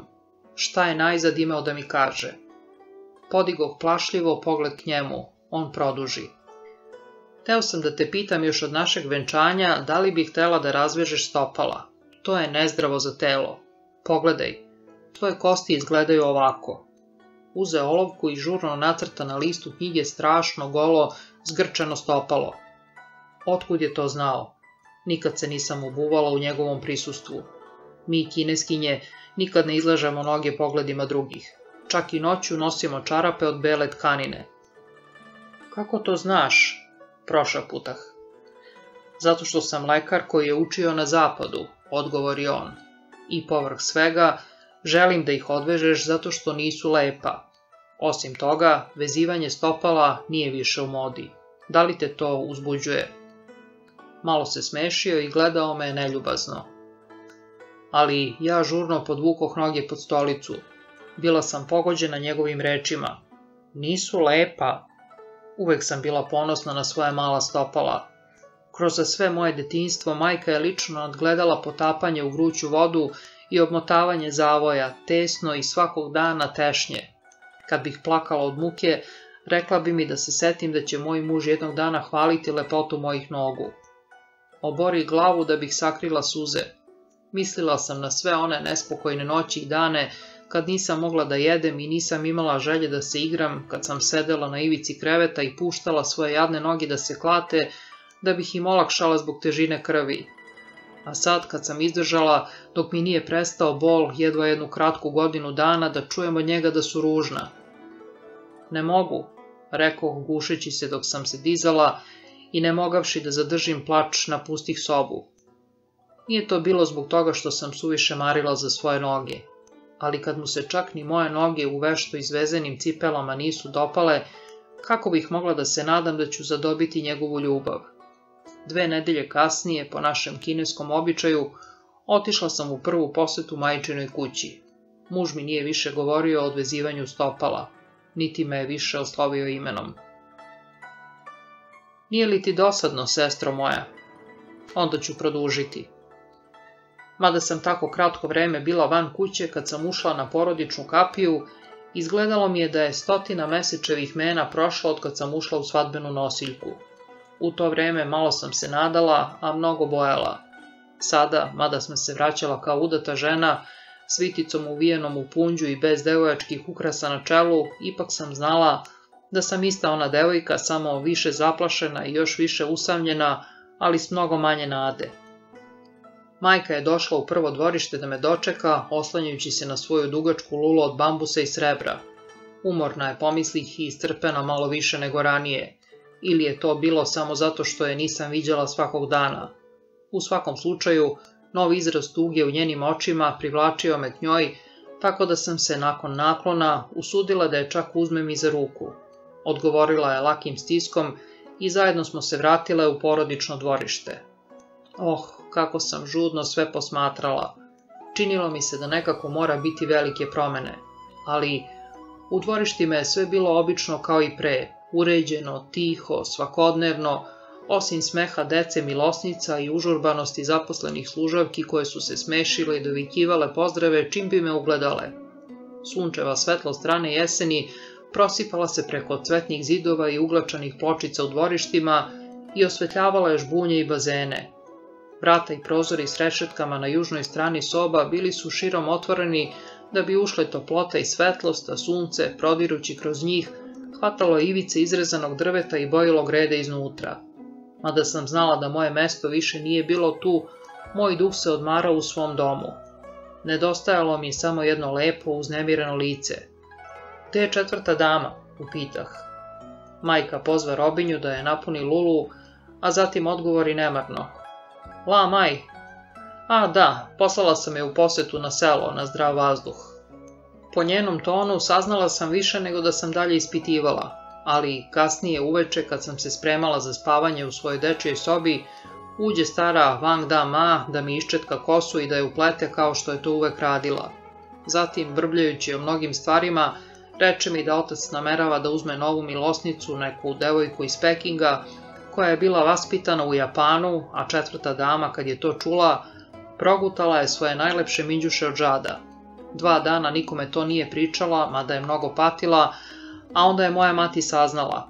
Devojka je bila na samrti, a stari lekar koga su pozvali nije mogao ništa da učini, mada joj je iglama izbo članke na rukama i nogama. Jedna susetka predložila je stranu bolnicu, ali majka nije smatrala da je tako nešto moguće. Ništa nismo znali o strancima. Osim toga, kako bi jedan stranac mogao da zna šta fali nekom kinezu. Strani lekari mogu da razumeju bolesti svojih ljudi koji su sasvim prosti i varvari u poređenju s vrlo složenim i kulturnim kinezima. Međutim, moj brat je slučajno baš tada bio kod kuće zbog svečanosti osmog meseca i on pozva stranu lekarku. Donela je neki vrlo čudan instrument za koje je bila zakačena dugačka cev. To je gurnula niz grlo četvrte dame i minđuše su odmah izašle. Svi su bili mnogo iznenađeni, osim strankinje, koja je spakovala instrument i mirno otišla. Ostale milosnice mnogo su se ljutile na četvrtu damu što je progutala svoje lepe minđuša džada. Debela je pitala. A zar nisi mogla da pojedeš kutiju s glavicama šibica, koja može da se kupi za deset novčića? Četvrta dama nije imala na to šta da odgovori. Kažu da je niko nije video kako jede ili čuo kako govori dok se oporavljala. Ležala je na krevetu s navučenim zavesama. Zbog tog neuspelog pokušaja izgubila je mnogo od svog lepog izgleda. U stvari, nju je majka zbog toga žalila i poslala joj je na put da je poštedi podsmevanja žena. Takve stvari su, međutim, bile samo sitno domaće ogovaranje i nije im bilo mesta u razgovorima koje sam vodila s majkom. Samo zato što sam toliko mnogo voljela svoj dom, osjećala sam da moram znati sve pojedinosti i zato sam slušala brbljanje Wang Dama. Ona je toliko dugo bila s nama da je znala sve naše stvari. U stvari, došla je s moje majkom iz njene daleke kuće u Shansiju kad se moj otac oženio i primala je u svoje naručje decu moje majke pri rađenju. Kad moja majka umre, ona će otići ženi moga brata i brinuće se za majčine unučiće. Samo jedna novost koju sam na taj način čula imala je više nego prolaznu vrednost. Brat je bio odlučio da ide u inostranstvo, u Ameriku, na dalje studije. Majka mi nije ništa rekla o tome, ali Wang Da mami je ispričala šapatom kad mi je donela vruću vodu prvo jutro posle mog povratka da se otac smejao novoj sinovljevoj ideji, ali je na kraju dao pristanak za njegov odlazak zato što je ušlo u modu da se sin šalje u inostranstvo na studije, a i njegovi prijatelji to rade. Majka je bila mnogo potištena kad je to čula. Potištenija nego što je ikad zbog nečega bila u svom životu, reče Wang Dama, sem kad je otac uzeo prvu milosnicu. Kad je videla da će moj brat zaista otići, tri dana je odbijala da jede i ni s kim nije govorila. Najzad, uvidevši da će on po svaku cenu otići preko tihog mora, zamolila ga je da se najpre oženi svojom verenicom da bi mu mogla roditi sina. Majka je tada rekla, pošto nećeš da shvatiš da tvoja krv i meso nisu samo tvoji, pošto si samovoljan, nemaran i srljaš u opasnost te varvarske zemlje ne vodeći računa o svojoj dužnosti, prenesi bar na drugoga svetu lozu svojih predaka, tako da ako ti umreš, o sine moj, mogu bar da vidim svoga unuka. Ali brat je bio uporan. Nemam želje za brakom, želim samo još da studiram nauku i da naučim što više mogu. Ništa mi se neće desiti, majko. Kad se vratim, oženit ću se, ali ne sada, ne sada. Tada majka posla poruku našem ocu, nagovarajući ga da natera sina da se oženi. Ali otac je bio nemaran, jer je bio zauzet pripremama za novu milosnicu i brat je uradio kako je hteo. Saosećala sam s majkom. Ova generacija je poslednja iz očeve loze, jer moj deda nije imao drugih sinova sem mog oca. Drugi majčini sinovi umrli su takođe mladi i stoga je bilo neophodno da brat što je moguće pre dobije sina da bi majka mogla ispuniti svoju dužnost prema precima. Zbog toga je od detinstva bio veren za lijevu čerku. Iako je nisam videla, čula sam da nije lepa. Ali šta je to u poređenju s majčinim željama? Danima sam bila uznemirana zbog majke koju je rastužila neposlušnost moga brata, ali nije mi o tome govorila. Sahranila i tu tugu, kao i sve ostale u nevidljiva mesta duše. Uvek je imala običaj da kad vidi da je patnja neizbežna, sklopi zauvek usne nad njom. Stoga sam, okružena prisnim licima i zidovima i naviknuta na majčinu čutljivost, postepeno i prestala da mislim o bratu. Naravno, prva misao koju sam pročitala u svim očima bila je ona od koje sam strepela, ali i koju sam i očekivala. Kakvi su moji izgledi da rodim sina? Svi su mi postavljali to pitanje, ali ja sam sva pitanja izbegla primajući samo ozbiljnim klimanjem glave lepe želje koje su mi iskazivali.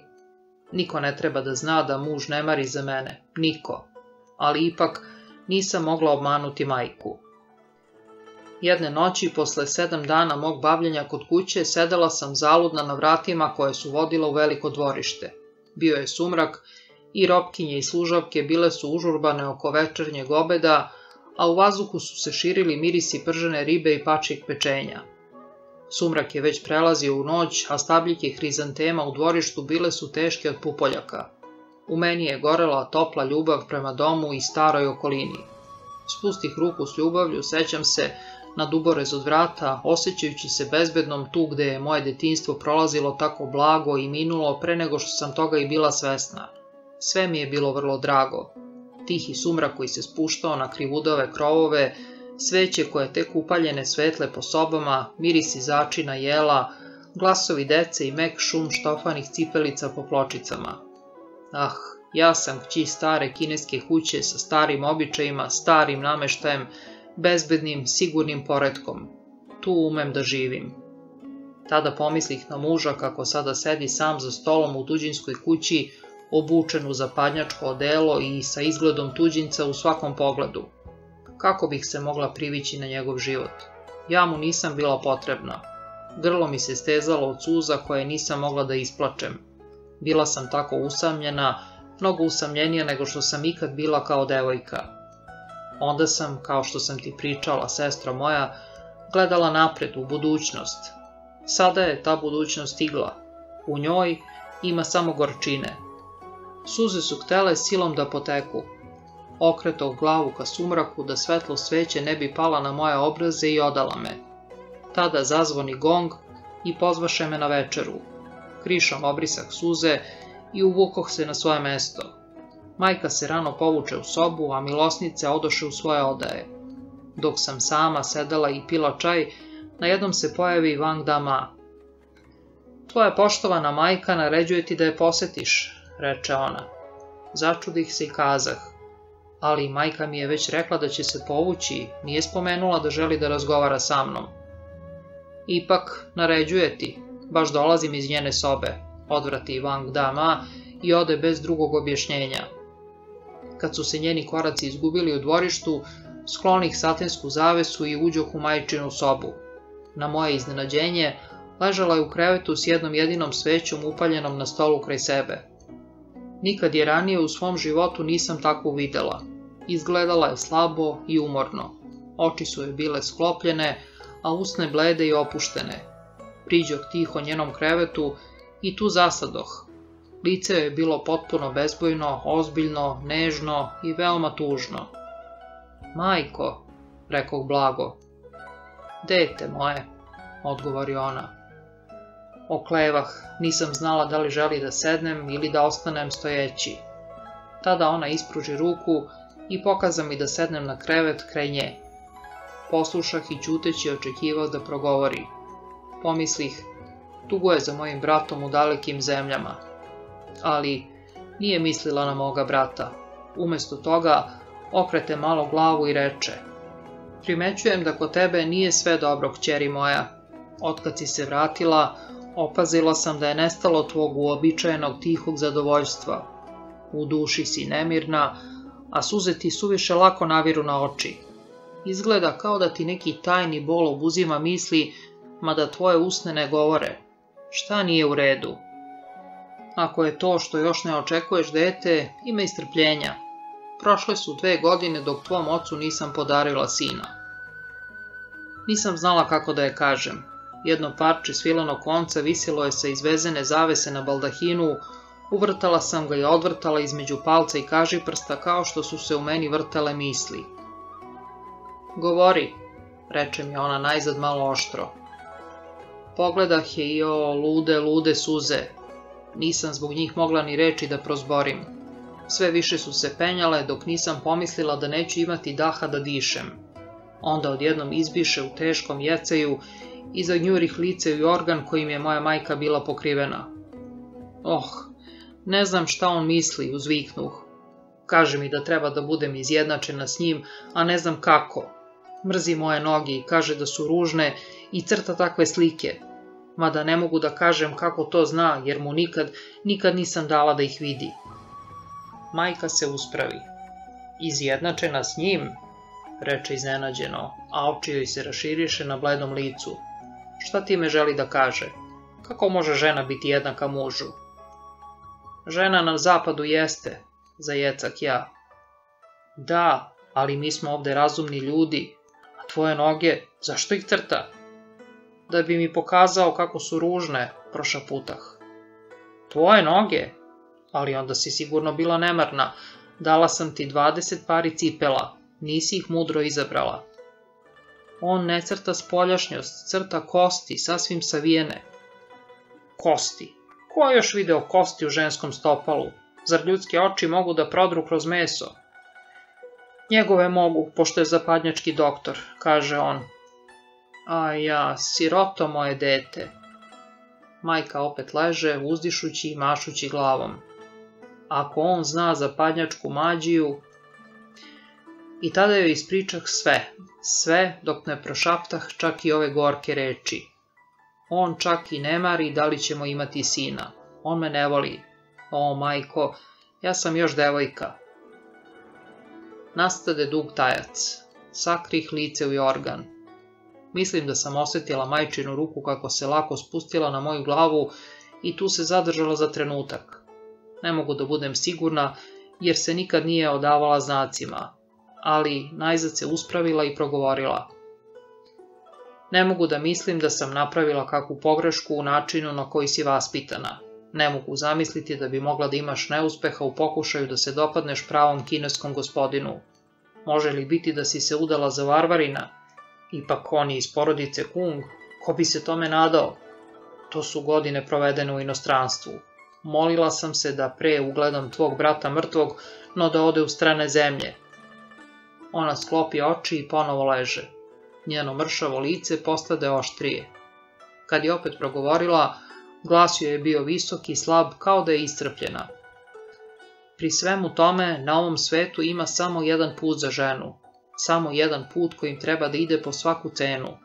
Mora da se dopadne svom mužu. To je više nego što mogu da podnesem, da sve moje staranje o tebi bude uništeno. Ali ti više ne pripadaš mojoj porodici, pripadaš mužu.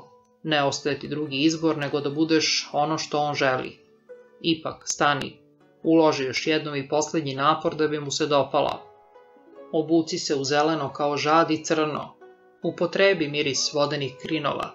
Smeši se, ne smelo, ali sa stidljivošću koja sve obećava. Možeš čak i da mu dodirneš ruku, drži je za trenutak. Ako se smeje, budi vesela. Ako i dalje ostane hladan, onda ti ne ostaje ništa drugo nego da se pokoriš njegovoj volji. Da odvežem stopala, prošaputah. Majka ćutaše neko vreme. Da odvežeš stopala, odgovori umorno. Vremena su se promenila. Sad možeš ići. I ona okrete lice zidu. Kako da ti pričam o svom žalosnom srcu, sestro moja? Dan mog odlaska osvanuo je siv i tih. Bio je to kraj desetog meseca kada mrko lišće počinje tiho da pada na zemlju, a bambusi da podrhtavaju u hladnoći zore i pri zalasku sunca. Šetala sam po dvorištima, zadržavajući se na mestima koja Beja hodavno najviše zavoljala, da bih sveže i oštrije utisnula u pamćenje njihovu lepotu. Zastala sam kraj bazena, osluškujući kako slab vetar lomi uvele mahune i lišće lotosovih biljaka. Sedala sam jedan sat pod čvornovatim klekovim drvetom, koje je 300 godina stajalo u stenovitom vrtu trećeg dvorišta. Uzabrala sam granu nebeskog bambusovog drveta u dvorištu velike kapije, uživajući u zrnima žive skerletne boje što vise među tamno zelenim lišćem. Izabrah osam saksija hrizantema da ponesem. Bile su u svom najboljem dobu i pomislih da će njihove crvene, zlatne i bledo purpurne boje makar malo oživeti praznu kuću. Tako se vratih mužu. Nije bio kod kuće kad sam ušla u malo predsoblje. Služavka mi saopšti da je u zoru bio nekud hitno pozvan. Pažljivo razmestih hrizanteme po malom salonu, razmišljajući kako da ih zgodno rasporedim kao iznenađenje za njega. Ali kad sam uradila sve što sam bolje mogla, bila sam razočarana. Ukoliko su raskošnije blistale u starom dvorištu, prema crnim duborazima prolaza, utoliko su ovde prema belo okrečenim zidovima i žutoj boji, bledele kao da su veštačke lepote. Ah, tako isto bilo je i sa mnom. Obukla sam satenske pantalone boje žada, kaput i crni somotski žaket bez rukava. Ulepšala sam kosu ukrasima od žada i oniksa i obesila žadu uši. Nosila sam crne cipele napravljene od somota i vešto izvezene sitnim perlama od zlata. Naučila sam se od lama i četvrte dame u kući moje majke, lukavstvu bezbojnih obraza i dojnje usne namazane crvenilom i čaroli i namirisanih ružičastih dlanova. Nisam štedela truda za to prvo veče sa svojim mužem. Videla sam da sam lepa. Kad sam se obukla, sela sam očekujući da čujem njegov korak na pragu.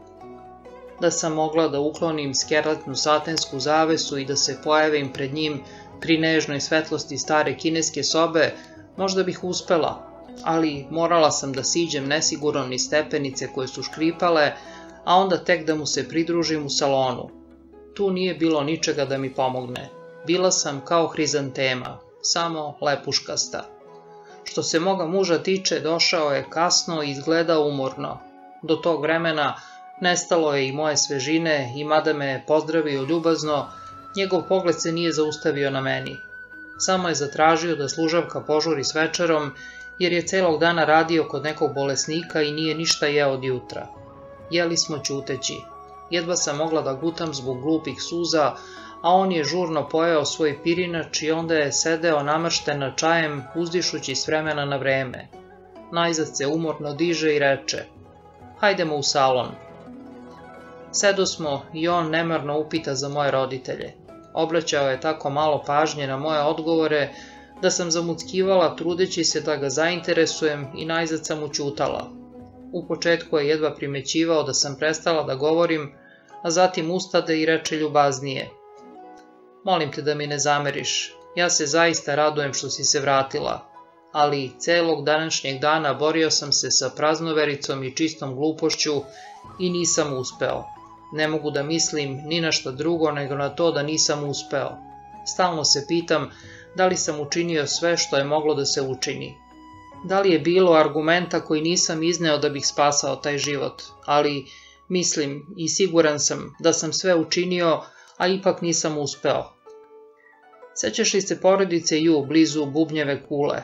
Njihova druga dama pokušala je danas da izvrši samoubistvo vešanjem. Izgleda da više nije mogla da izdrži svekrvin zmijski jezik. Pozvali su mene i zamisli, mogao sam da je spasem život. Samo što je zategla konopac kad su je našli. Samo što je zategla. Odmah spremi lekove. Tada uđe stari stric, vinarski trgovac. Stari gospodin Ju je umro, kako se sećaš, i vinarski trgovac je sada glava porodice. Uđe s grdnjom i ljutit i odmah zatraži da se primene stari metodi. Posla po sveštenike da udaraju u gongove, da bi pozvali natrag ženinu dušu, a njeni rođaci se sakupiše i namestiše jadno onesvešćenu devojku, još nema ni 20 godina, uklečići položaj na podu. Zatim joj namerno napuniše usta pamukom i štofom i vezaše je čaršavo kolica. Ali, ali, rekoh ja, to je običaj, to se uvek radi. Vidiš, već je toliko mnogo duše otišlo, pa moraju da zadrže ostatak zatvaranjem tih otvora. On poče u uzbuđenju da šeta po sobi. Zatim stade ispred mene, stisnutih usana. Mogla sam da čujem njegovo brzo disanje. Prosto je zurio u mene. Šta? povika. I ti? Ja ustuknuh. Da li je umrla? Prošaputah. Umrla? Da li bi ti umrla kad bih ti i ja to radio dovoljno dugo? I on zgrabi moje ruke i grubo mi stavi maramicu preko usta i nosa. Oslobodih se, izvivši se izbacih je. Nasmaja se grubo kao pas kad laje i sede pokrivši lice rukama i tada nastade tišina teška kao bol. Nije ni primetio hrizanteme koje sam s toliko pažnje rasporedila po sobi. Posmatrala sam ga začuđena i uplašena. Može biti da je ipak bio u pravu. Te noći tužno metuh ukrase od žada u srebrnu kutiju i spremih satensko odelo. Poček da shvatam da su me sasvim pogrešno naučili. Moj muž nije od onih ljudi za koje je žena značila isključivo delovanje na čula kao kakav mirišljavi cvet ili lula opijuma. Savršenstvo lepote tela nije mu bilo dovoljno. Moram da smislim kako da mu se dopadnem na drugi način. Setih se majke, lica okrenutog zidu i njenog umornog glasa koji mi kaže Vremena su se promenila. Ipak nisam se mogla lako odlučiti na odvezivanje stopala. U stvari, gospođa Liju mi je pomogla. Ona je bila žena učitelja u novoj stranačkoj školi.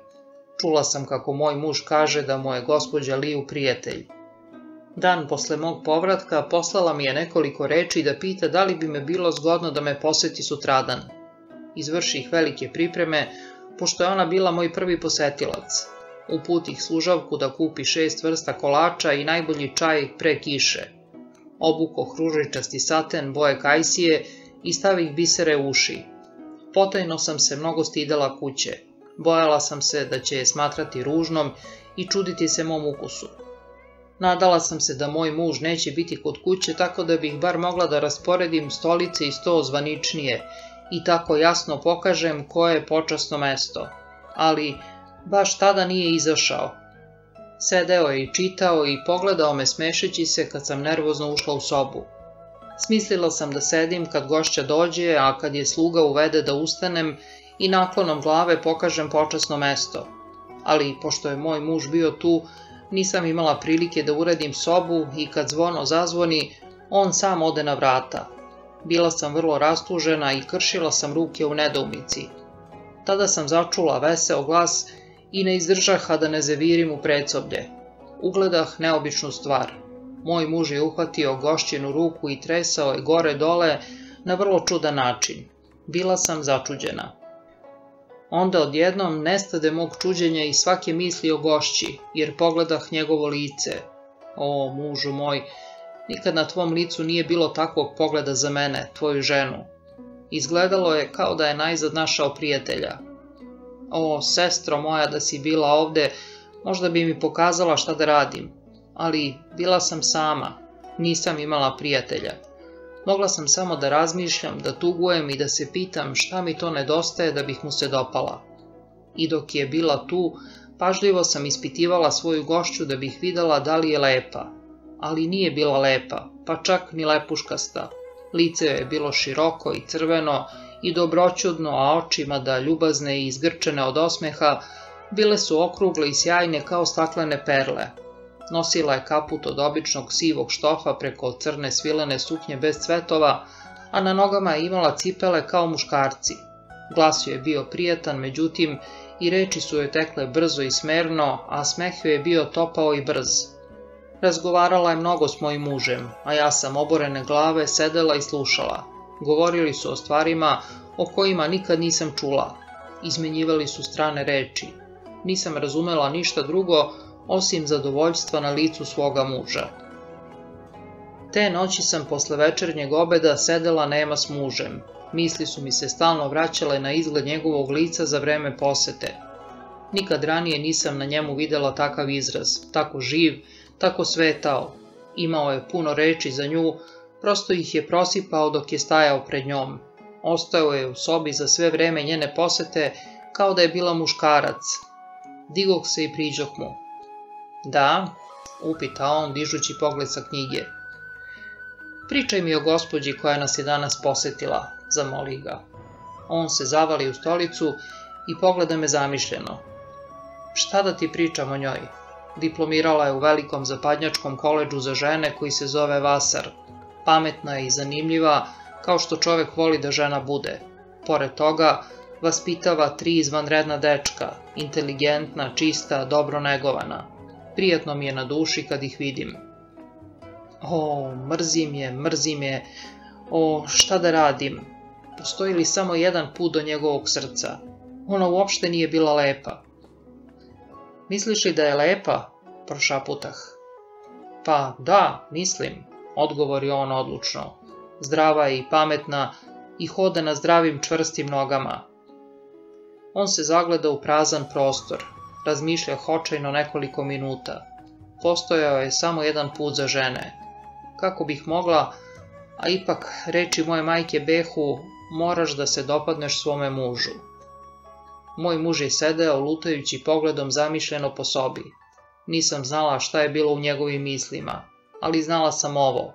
Mada sam nosila saten breskvine boje, mada mi je kosa bila glatka i crna, sijala se u vešto nameštenim viticama, mada sam ustajala tako blizu uz rame da bi najmanji pokret njegovog tela sastavio njegovu ruku sa mojom, ipak nije mislio na mene.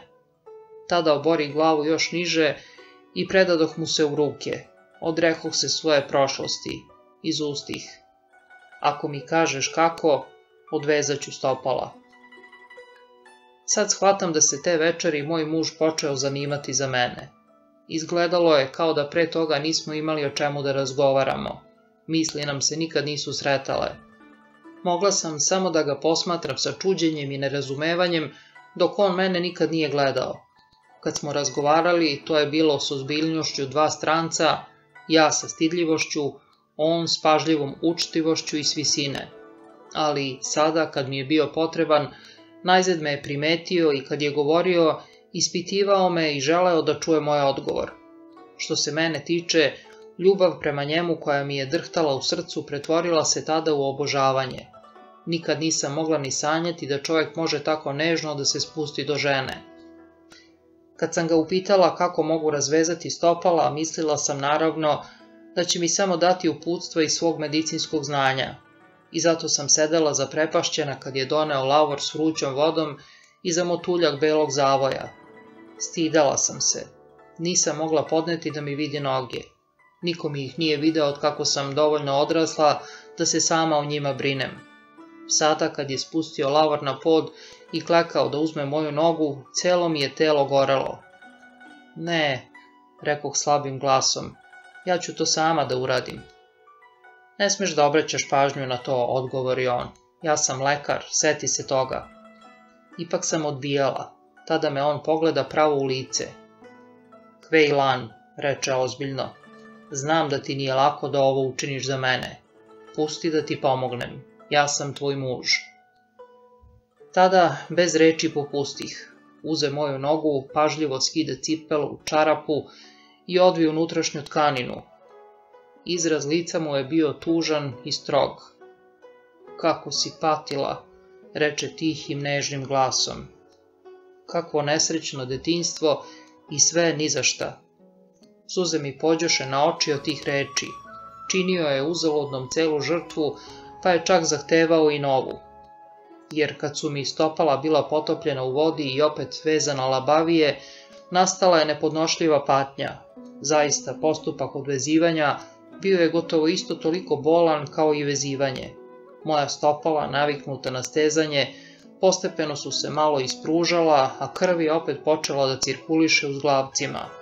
Bilo je trenutaka u toku dana kad sam htela da raskinem zavoje, da ih odvežem i čvršće uvijem da bi mi bilo lakše – ali onda bi me pomisao na mog muža i na to da će on uveče primetiti, naterala da ih ponovo namestim dršćućim rukama.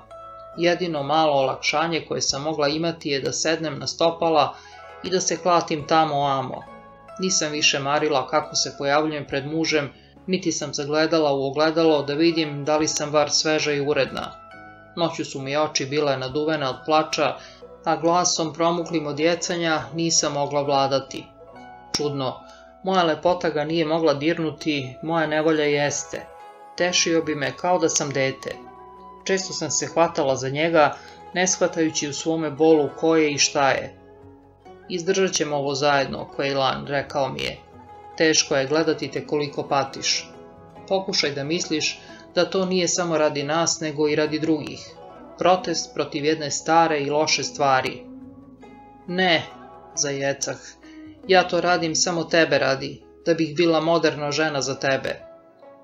On se nasmeja i lice mu se malo razvedri, kao što je bilo kad je razgovarao s onom drugom ženom. To mi je bila nagrada za bol. Ništa mi posle toga nije izgledalo teško. I zaista, ukoliko je meso ozdravljalo, poček da upoznajem novu slobodu. Bila sam mlada, a noge su mi još bile zdrave. Kod starijih žena često bi se vezana stopala umrtvila, a ponekad čak i otpala. Ali moje su bila samo ova mrla.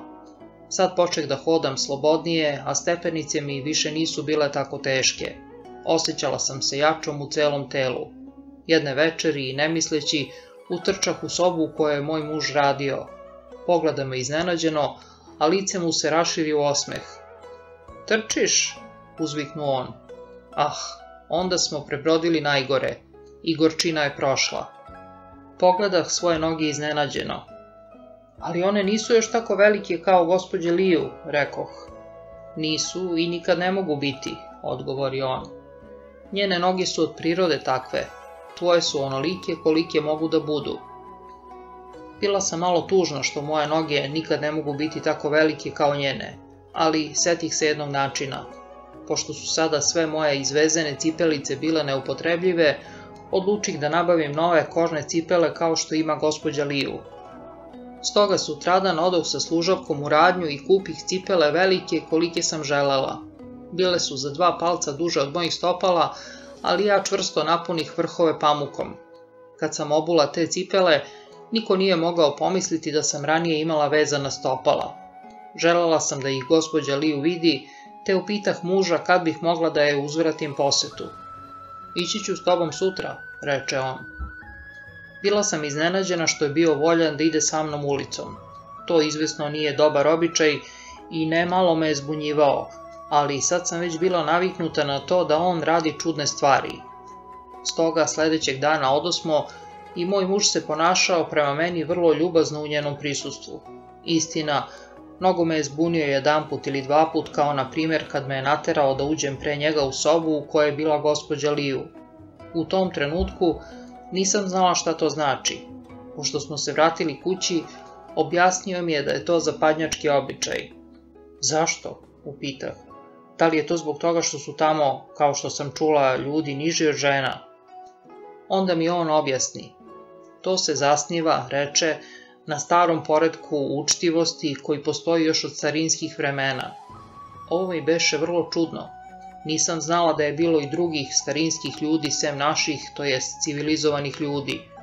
Ali izgleda da i stranci imaju istoriju i kulturu, stoga nisu sasvim varvari. Muž mi obeća da će mi čitati knjige o njima. To veče bejah srećna kad odoh u krevet. Bilo je zanimljivo biti malo moderniji, jer ne samo što sam tog dana nosila kožne cipele, nego nisam namazala lice niti stavila ukrase u kosu. Izgledala sam vrlo slično gospođi Liju. Uverena sam da je moj muž to primetio. Pošto sam jednom zaželela da se promenim, izgledalo je da je za mene nastao potpuno novi život. Muž je sada razgovarao sa mnom uveče i primetila sam da je razgovor s njim vrlo zanimljiv. Oh, kako je mi je samo čudne stvari pričao o stranim zemljama i njihovim stanovnicima. Smejao se kad bih uzviknula O, smešno ili O, čudno.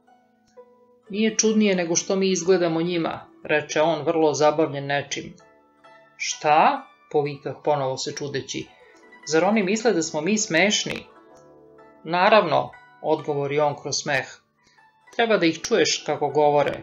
Oni misle da je naše odelo smešno i naša lica i naša hrana i sve što mi radimo.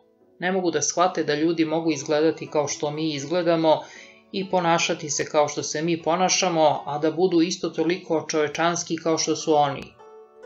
Bila sam zgranuta kad sam to čula.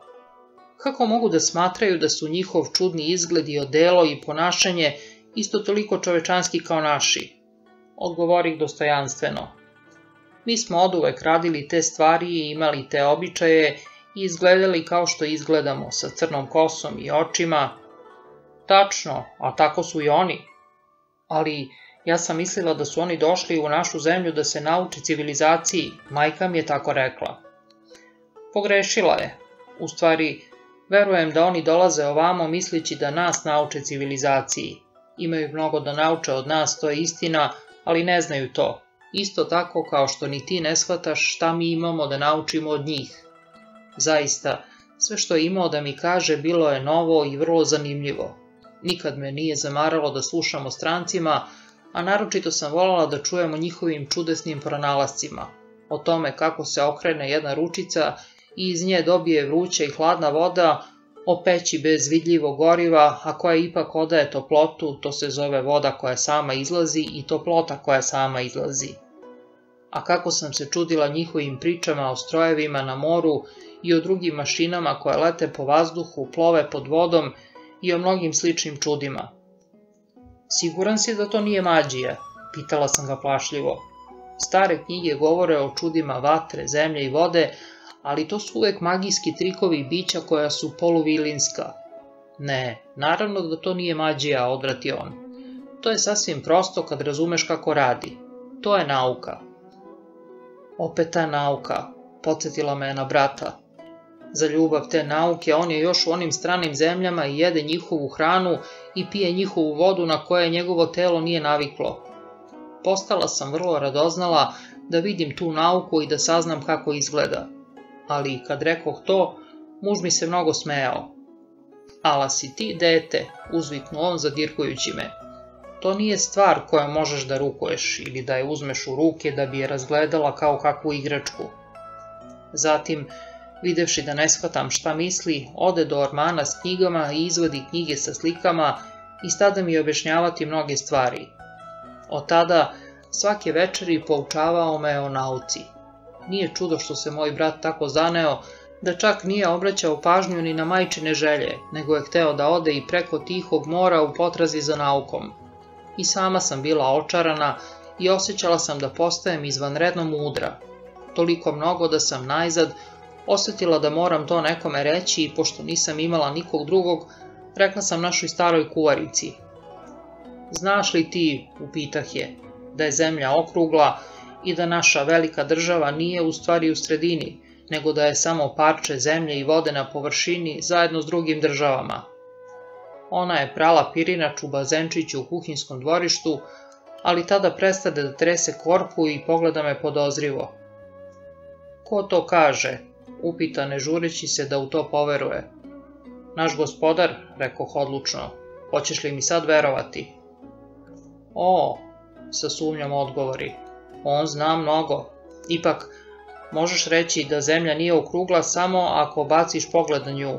Vidiš, ako se popneš na vrh pagode na brdu Severne zvezde, možeš videti na hiljadu kilometara planine i polja, i jezero i reku, a to sve je tako ravno kao razastrati čašavi, osim planina, a niko ih ne može nazvati okruglim.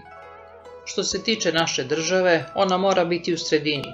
Inače, zašto bi je mudri ljudi iz starih vremena, koji su sve znali, zvali Srednjim kraljevstvom. Ali želela sam da produžim. Osim toga, nastavih, zemlja je toliko velika da je potrebno mesec dana da bi se došlo na drugu njenu stranu, a kad je ovde mrak, sunce tamo daje svetlost. Sada znam da nisi u pravu, gospodarice moja, uzviknu ona likujući. Ako je potrebno mesec dana da se dođe u te druge zemlje, Kako može sunce to da uradi za jedan sat kad mu je potreban ceo dan da ovde pređe kratak prostor između purpurne planine i zapadnih brda? I ona nastavi da trese u vodi korpus pirinčem. Zbilja joj nisam mogla zameriti zbog njenog neznanja, jer od svih neobičnih stvari koje mi je muž ispričao, Najneobičnija je ta da zapadni narodi imaju iste tri nebeske svetlosti koje i mi imamo, sunce, mesec i zvezde. Uvek sam mislila da ih je Pan Ku, bog koji je stvorio svet, sazdao za kineze, ali moj muž je mudar, on zna sve i govori samo ono što je istinito. Kako mogu rečima opisati početak muževljeve ljubavi, sestro moja? Kako sam mogla znati kad se njegovo srce uzbudilo? Ah, kako hladna zemlja zna kad u proleće sunce rascvetava njeno srce, kako more osjeća da ga mesec privlači. Ne znam kako su dani prolazili, znam samo da više nisam bila usamljena. Tu gde je on, bio je moj dom i više nisam mislila na majčinu kuću. Za vreme dugih časova u toku dana koje sam provodila u njegovom odsustvu, razmišljala sam o svim muževljavim rečima. Sećala sam se njegovih očiju, njegovog lika, linije njegovih usana, slučajnog dodira njegove ruke i moje kad je na stolu okretao strane knjige. Kad bi došla noć i on bio tu predamnom, pogledala bih ga krišom i time napajala srce dok me je on podučavao. Danju i noću mislila sam na njega. Kao kad reka u proleće obilno teče u kanale, ispražnjene zimskom sušom, kao kad se reka razliva po zemlji i sve ispunjava životom i plodnošću, tako je i misao na moga gospodara ispunila svaku moju usamljenost i potrebu. Ko može da razume tu moć privlačnosti muškarca i žene? Počinje slučajnim susretom očiju, stidljivim i dužim pogledom, a onda se odjednom rasplanti u čvrsto i žarko gledanje. Dodirnu se prstima koji se u početku brzo trzaju, a onda srce poleti srcu. Ali kako bih mogla to da ispričam čak i tebi, sestro moja? To je bilo doba moje velike radosti. Ove reči koje sada izgovaram jesu reči radosti. Poslednjeg dana 11. meseca znala sam da će se moje dete roditi kad bude stigla žetva pirinča u sredini godine. Kada sam mužu rekla da sam za čećem ispunila dužnost prema njemu, bio je vrlo srećan. Prvo je zvanično obavestio roditelje, a zatim braću i mi primismo njihova čestitanja. Moji roditelji naravno nisu odmah bili upoznati s tim, ali odlučih da kaže majci kad je budem posetila na novu godinu. Sada je nastalo najteže vreme za mene. Dotle sam bila malo važna osoba u porodici muža. Bila sam samo žena jednog od mlađih sinova. Nisam imala gotovo nikakvog učešća u porodičnom životu od kako smo se iselili iz velike kuće. Dva put sam išla u određeno vreme da odam poštovanje muževljivoj majci i poslužim je čajem, ali ona se ponašala prema meni nemarno, mada ne neljubazno. Sad odjednom postadoh kao kakva boginja sudbine. U sebi sam nosila nadu porodice, naslednika. Moj muž je bio jedan od šest sinova, od kojih nijedan nije imao muškog deteta. Stoga, ako bi moje dete bilo muško, ono bi po rangu bilo do najstarijeg brata moga muža u porodici i bilo bi naslednik porodičnih imanja. Oh, pa to je velika žalost matere da sin bude njen samo nekoliko kratkih prvih dana. Mora suviše brzo da zauzme svoje mesto u velikom porodičnom životu. Moj sin bit će moj tako kratko. O, Kuan Yin, odbrani moje dete. Usićenje onoga časa kad smo muž i ja po prvi put govorili o detetu, ubrzo je zamenila briga koja nas je pritisla. Rekla sam da je to bilo najteže vreme za mene. To je bilo i zbog mnogih saveta koje sam od svakoga dobijala. Najvažniji su bili saveti koje sam primala od svoje poštovane svekrve. Kad je čula za moju radost, poslala je po mene. Dotle kad sam je posećivala, primala me zvanično u gostinskoj sobi, pošto je bila ljuta na nas od kako smo se ocelili. Ovoga puta, međutim, bilo je očigledno da je naredila sluzi da me odvede u porodičnu sobu iza trećeg dvorišta. Tu sam zatekla svekrvu kako sedi za stolom, pije čaj i čeka me. Ona je veličanstvena stara dama, veoma puna, s malim nogama koje su odavno bile nedovoljne za njenu veliku težinu. Sada ako napravi i samo jedan korak, oslanja se teško na dve snažne robinje koje uvek stoje spremne iza njene stolice. Ruke su je male i pokrivene zlatnim prstenjem, a tako pune da prsti kruto štrče iz gomile mesa s jamicama, Stalno drži dugačku lulu od uglačanog srebra, koje joj služavke neprestano pune i pale uvijenom hartijom koja tinja i stoji spremna da se za trenutak razgori u plamen kad joj ustreba. Odmah joj priđoh i poklonih joj se. Nasmeši se tako da joj uzane usne iščezoše među pune i teške obraze, a zatim je uze ruku i potapša je. Dobra kći, dobra kći, reče svojim hrapavim glasom. Vratio je odavno iščezao u naslagama mesa, a glas joj je bio asmatičan. Znala sam da sam joj se svidela. Sipah čaj u šolju i pružih joj obema rukama i ona je primi. Tada sedoh na stoličicu sa strane, ali sad mi nije htjela dozvoliti takvu poniznost, mada ranije nije vodila računa o tome gde sedim. Smešeći se i kašljući, tada mi znak da sednem na sedište najbliže njoj sa suprotne strane stola i ja poslušak zapovest. Ona zatim posla po ostale snahe i one sve dođeše da mi čestitaju. Tri snahe nisu nikad začele, iako su više godina bile udate i njima sam morala biti predmet zavisti i prebacivanja. I odista, najstarija od njih, visoka slabunjava žena žutog lica koja je uvek poboljevala, stade glasno da jadikuje i da se klati tamo amo oplakujući svoju sudbinu. Aj, aj, da gorkog života, da zle sudbine. Svekrva uzdahnu, ozbiljno zavrte glavom i dozvoli najstarijoj snasi da se teši za vreme pušenja dve lule duvana. Zatim joj naredi da bude mirna, pošto je želela da govori sa mnom. Kasnije saznadog da je najstariji brat moga muža baš tada uzeo drugu ženu, pošto mu prva nije nikako rađala decu. To je učinilo da bol sirote žene bude tako oštar toga dana, jer je volela muža, pa najzad i uvidela da bogovi ni na sve njene molitve i žrtve nisu obratili pažnju. Svekrva mi dade mnoge pametne savete. Između ostalog, reče mi da ne spremam nikakvo odelo pre detinjeg rođenja. To je bio običaj u njenoj devojačkoj kući u Anhveju, gdje su ljudi verovali da će tako sprečiti svirepe bogove od saznanja da se približava rođenje, da ne bi, videvši da čovek dolazi na svet, pokušali da ga unište. Ali kad čuh za taj običaj, upitah, a šta će onda nositi malo, nago novorođenče? Uvi ga, reče ona zamišljeno, u najstarije odelo njegovog oca, to će mu doneti sreću. I ja sam to učinila sa svojih šest sinova i svi su živi. I etrve mi rekoše da uradim mnoge, mnoge stvari i svaka mi je opisala običaj svoje kuće u ovakvim prilikama.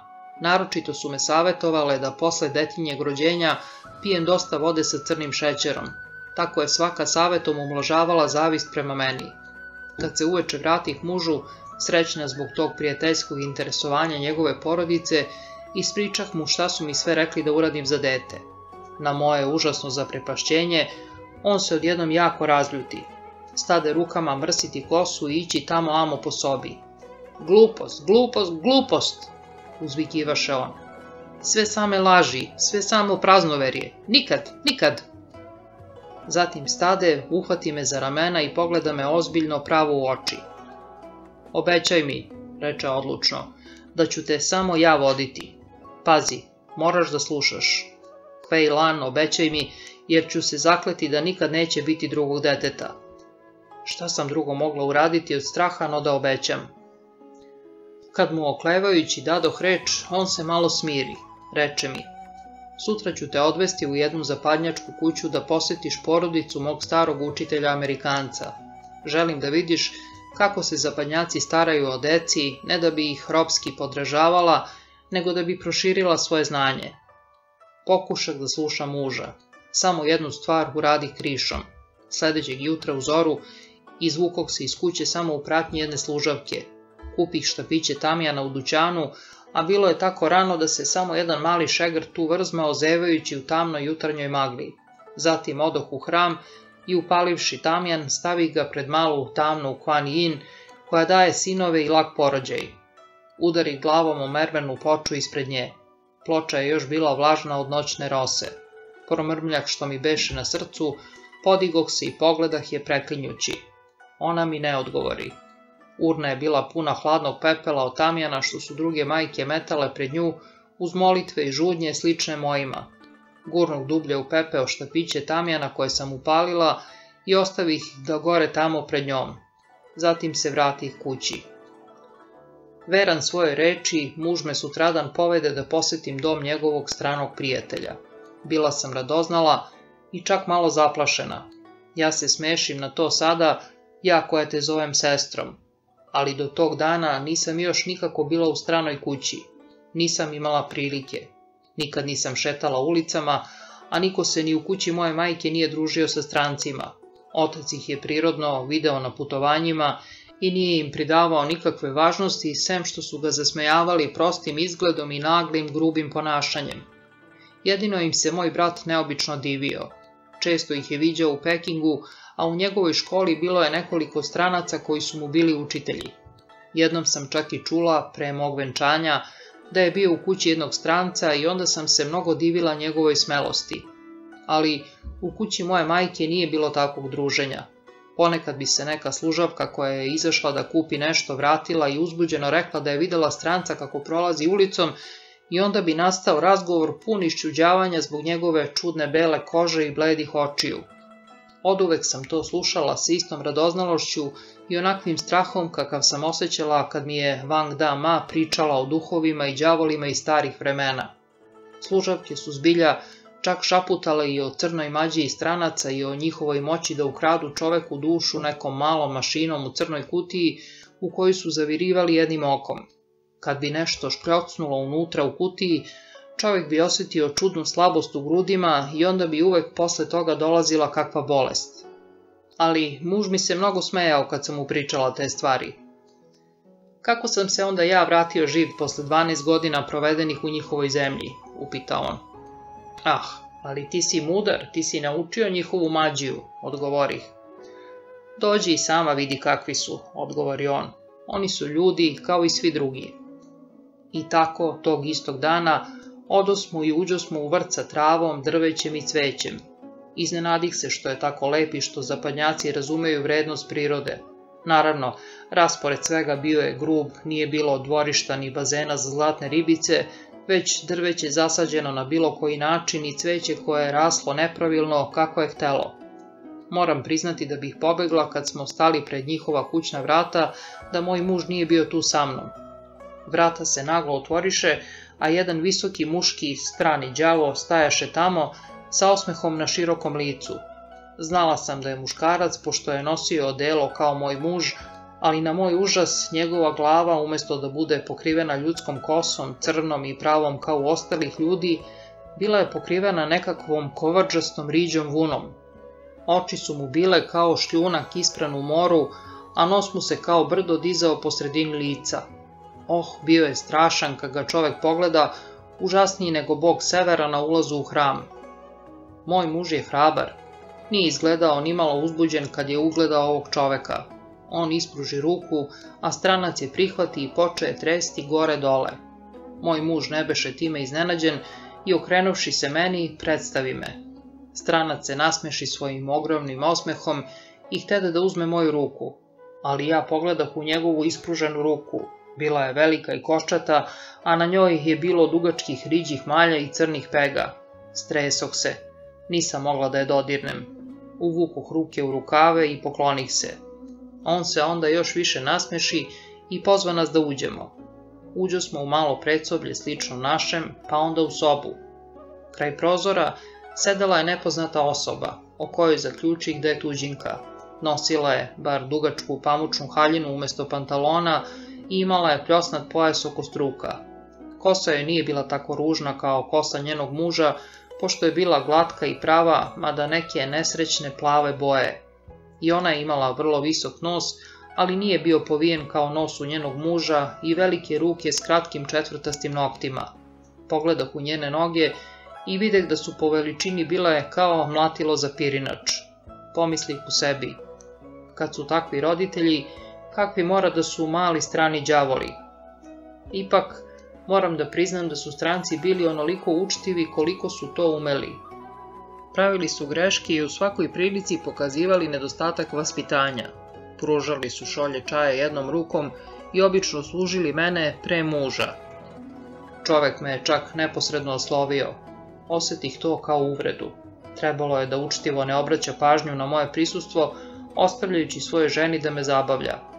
Mislim da to ne može da im se zameri. Ipak, proveli su ovde 12 godina, reče mi muž. Čovjek bi pomislio da se za to vreme mora nešto naučiti. Naravno, ti si, sestro moja, uvek živela ovde i ti si sada jedna od naših. Zanimljiviji deo naše posete došao je kad je moj muž zamolio strankinju da mi pokaže svoju decu i njihovo delo. Mi smo i sami očekivali dete, objasni on, i zato je želeo da ja vidim zapadnjačke običaje. Ona se odmah diže i pozva me da pođem u stepenice. Bojala sam se da idem sama s njom, pogledah muža tražići njegovu pomoć, ali on mi samo klimnu glavom da idem. Zaboravih na strah čim se popeh gore. Ona me uvede u suncem preplavljenu sobu koja je zagrevala jedna crna peć. Mada su očigledno želeli da zagreju sobu, bilo je čudno što su ostavili pritvoren prozor tako da je stalno ulazio hladan vazduh. Ali te pojedinosti ne primetih odmah. Prvo, s najvećim ushićenjem, ugledah tri mala stranca kako se igraju na podu. Nikad nisam videla tako neobična mala stvorenja. Bili su zdravog izgleda i punački, ali svi su imali belu kosu. To je potvrdilo ono što sam bila čula, da je priroda stranaca suprotna našoj i da se oni rađaju sa snežno-belom kosom koja je sve više tamni kako stare. Imali su vrlo belu kožu. Pretpostavljala sam da su je prali u kakvoj lekovitoj vodi, dok mi majka nije pokazala jednu sobu u kojoj su se svakog dana celi kupali. To mi je onda objasnilo boju njihove kože. Prirodne boje su izbledele od tolikog silnog pranja. Majka mi pokaza i njihovo delo. Sve rublje bilo je belo i zaista najmlađe dete bilo je obučeno u belo od glave do pete. Upitah majku da li je dete bilo u žalosti zbog nekog rođaka, pošto je belo boja žalosti, ali mi ona odvrati da nije to, nego zato da bi se dete održavalo čisto. Pomislih da bi kakva tamna boja bila bolja, pošto se belo tako lako prlja, ali ja sam sve zapažala, a ništa nisam govorila. Zatim sam videla njihove krevete. Bili su isto tako pokriveni belim tkaninama i vrlo sumorni. Nisam mogla da razumem zašto su tako mnogo upotrebljavali belo. To je tužna boja žalosti i smrti. Dete sigurno treba da bude obučeno i pokriveno samo veselim bojama, skerletom, žutom i nebesko-plavom. Mi oblačimo naše bebe u skerletnu boju od glave do pete iz radosti što su nam se rodile, ali ništa kod ovih stranaca nije prirodno. Jedna od čudnih stvari koju sam otkrila bila je i da je strankinja sama dojila dete. Meni nije bilo ni na kraj pameti da sama dojim. To nije običaj među ženama, i ole bogatijim ili na položaju, pošto za taj posao ima robinja u izobilju. Kad smo se vratili kući, ispričak sve mužu. Najzad rekoh. Ona čak sama doji svoje dete. Oni su znači toliko mnogo siromašni. Dobro je dojiti svoje dete, reče moj muž, i ti ćeš dojiti svoje. Šta? Ja? Upitah vrlo iznenađeno. Nego šta? Odgovori on ozbiljno. Ali onda dve godine neću imati drugo dete, primetih. Tako i treba da bude, odvrati moj muž, mada je razlog koji ti daješ besmislen. Možda on i u ovome ima pravo. U svakom slučaju primećujem da pošto poviše dece u svakoj porodici neizostavno mora da umre, a neka moraju da budu ženska, neću imati tako punu kuću sinova kao što sam se nadala. Čudiš li se, sestro moja, što uvek nalazim da je moj muž neshvatljiv. Narednog dana odog da posetim gospođu Liju da bih joj ispričala o svojoj poseti. Ah, kad bi mi boginja poklonila takvog sina kao što su njena deca, prava, rumena i sjajnih očiju. Bili su lepi, imali su kožu zlatne boje, divni u crvenom modelu sa cvetovima. Vi se držite starih običaja, rekoh, posmatrajući decu sa uzdahom zadovoljstva. Da, ne, pogledajte, odgovori ona i gurnu najstarije dete k meni. Pogledajte, moje belo je sve iznutra, postave koje mogu da se skinu i operu.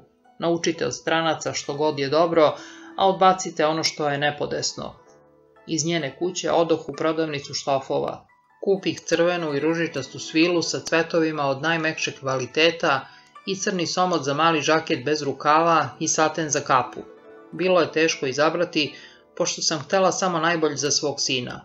Naredi vlasniku dućana da skine što više svile koje je bio uvio u tamne omote od hartije i naređao po policama do tavanice. Bio je to starac koji je teško disao i gunđao je kad sam uzviknula. Pokažite mi još i komad svile sa izvezenim breskvinim cvetovima. Čula sam ga kako nešto mrmlja o ženskoj taštini i kad sam to čula, rekoh mu. To nije za mene, nego za mog sina. On se onda nasmeja iskrivivši lice i donese mi najdivniji komad, komad koji je dotle čuvao. Uzmite ga, reče on. Čuvao sam ga za sudijenu ženu, ali ako je za vašeg sina, uzmite ga. Ona je najzad samo žena. To je bio komad koji sam tražila. Blistao je dubokim ružičastim sjajem među živim gomilama razbacanim po tezgi. Kupi ga ne pitajući za cenu, iako sam znala da ju je prepredeni starac povisio pošto je video koliko sam ga želala. U naručju ga odnesoh kući. Pomislih, večeras ću od ovoga skrojiti kaputić i pantalonice i sašiću ih sama. Bila bih ljubomorna kad bi kogo drugi na taj način dodirnuo moje dete. Oh, bila sam tako srećna što sam mogla za svog sina šiti cele noći. Napravila sam u par cipela s tigrovim glavama. Kupila sam mu srebrni lanac da se igra. To si ti? Imam veliku novost. Danas mi se sin pokrenuo pod srcem, kao da je progovorio.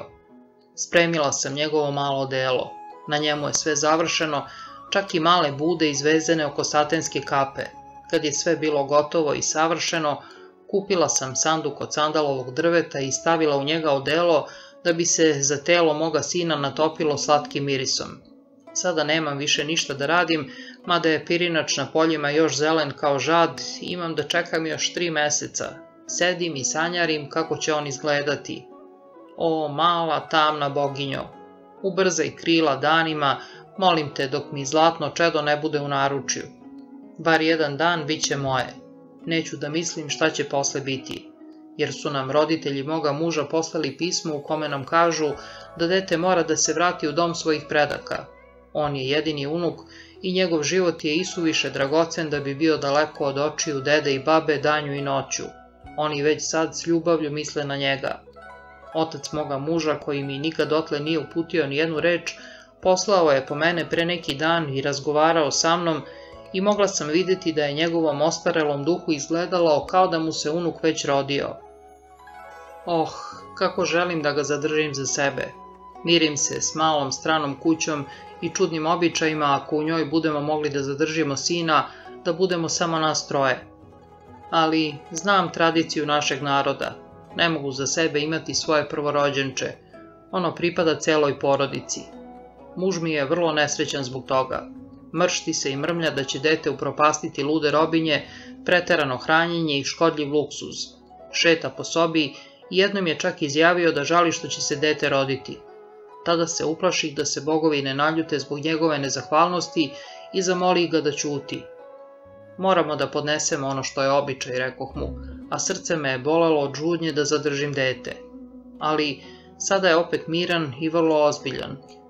Ne govori više o svojim roditeljima. Pitam se šta je u duši odlučio kad ne govori. A što se mene tiče, ja sada ne mislim ni više ni dalje od onog dana kad će to malo dragoceno biće da bude tu da ga gledam i u njemu uživam. Sad znam šta je moj muž uradio. Misliš li da nije u pravu, sestro moja? Oh, ne znam ni sama. Mogu samo da verujem da je u pravu, pošto on to radi.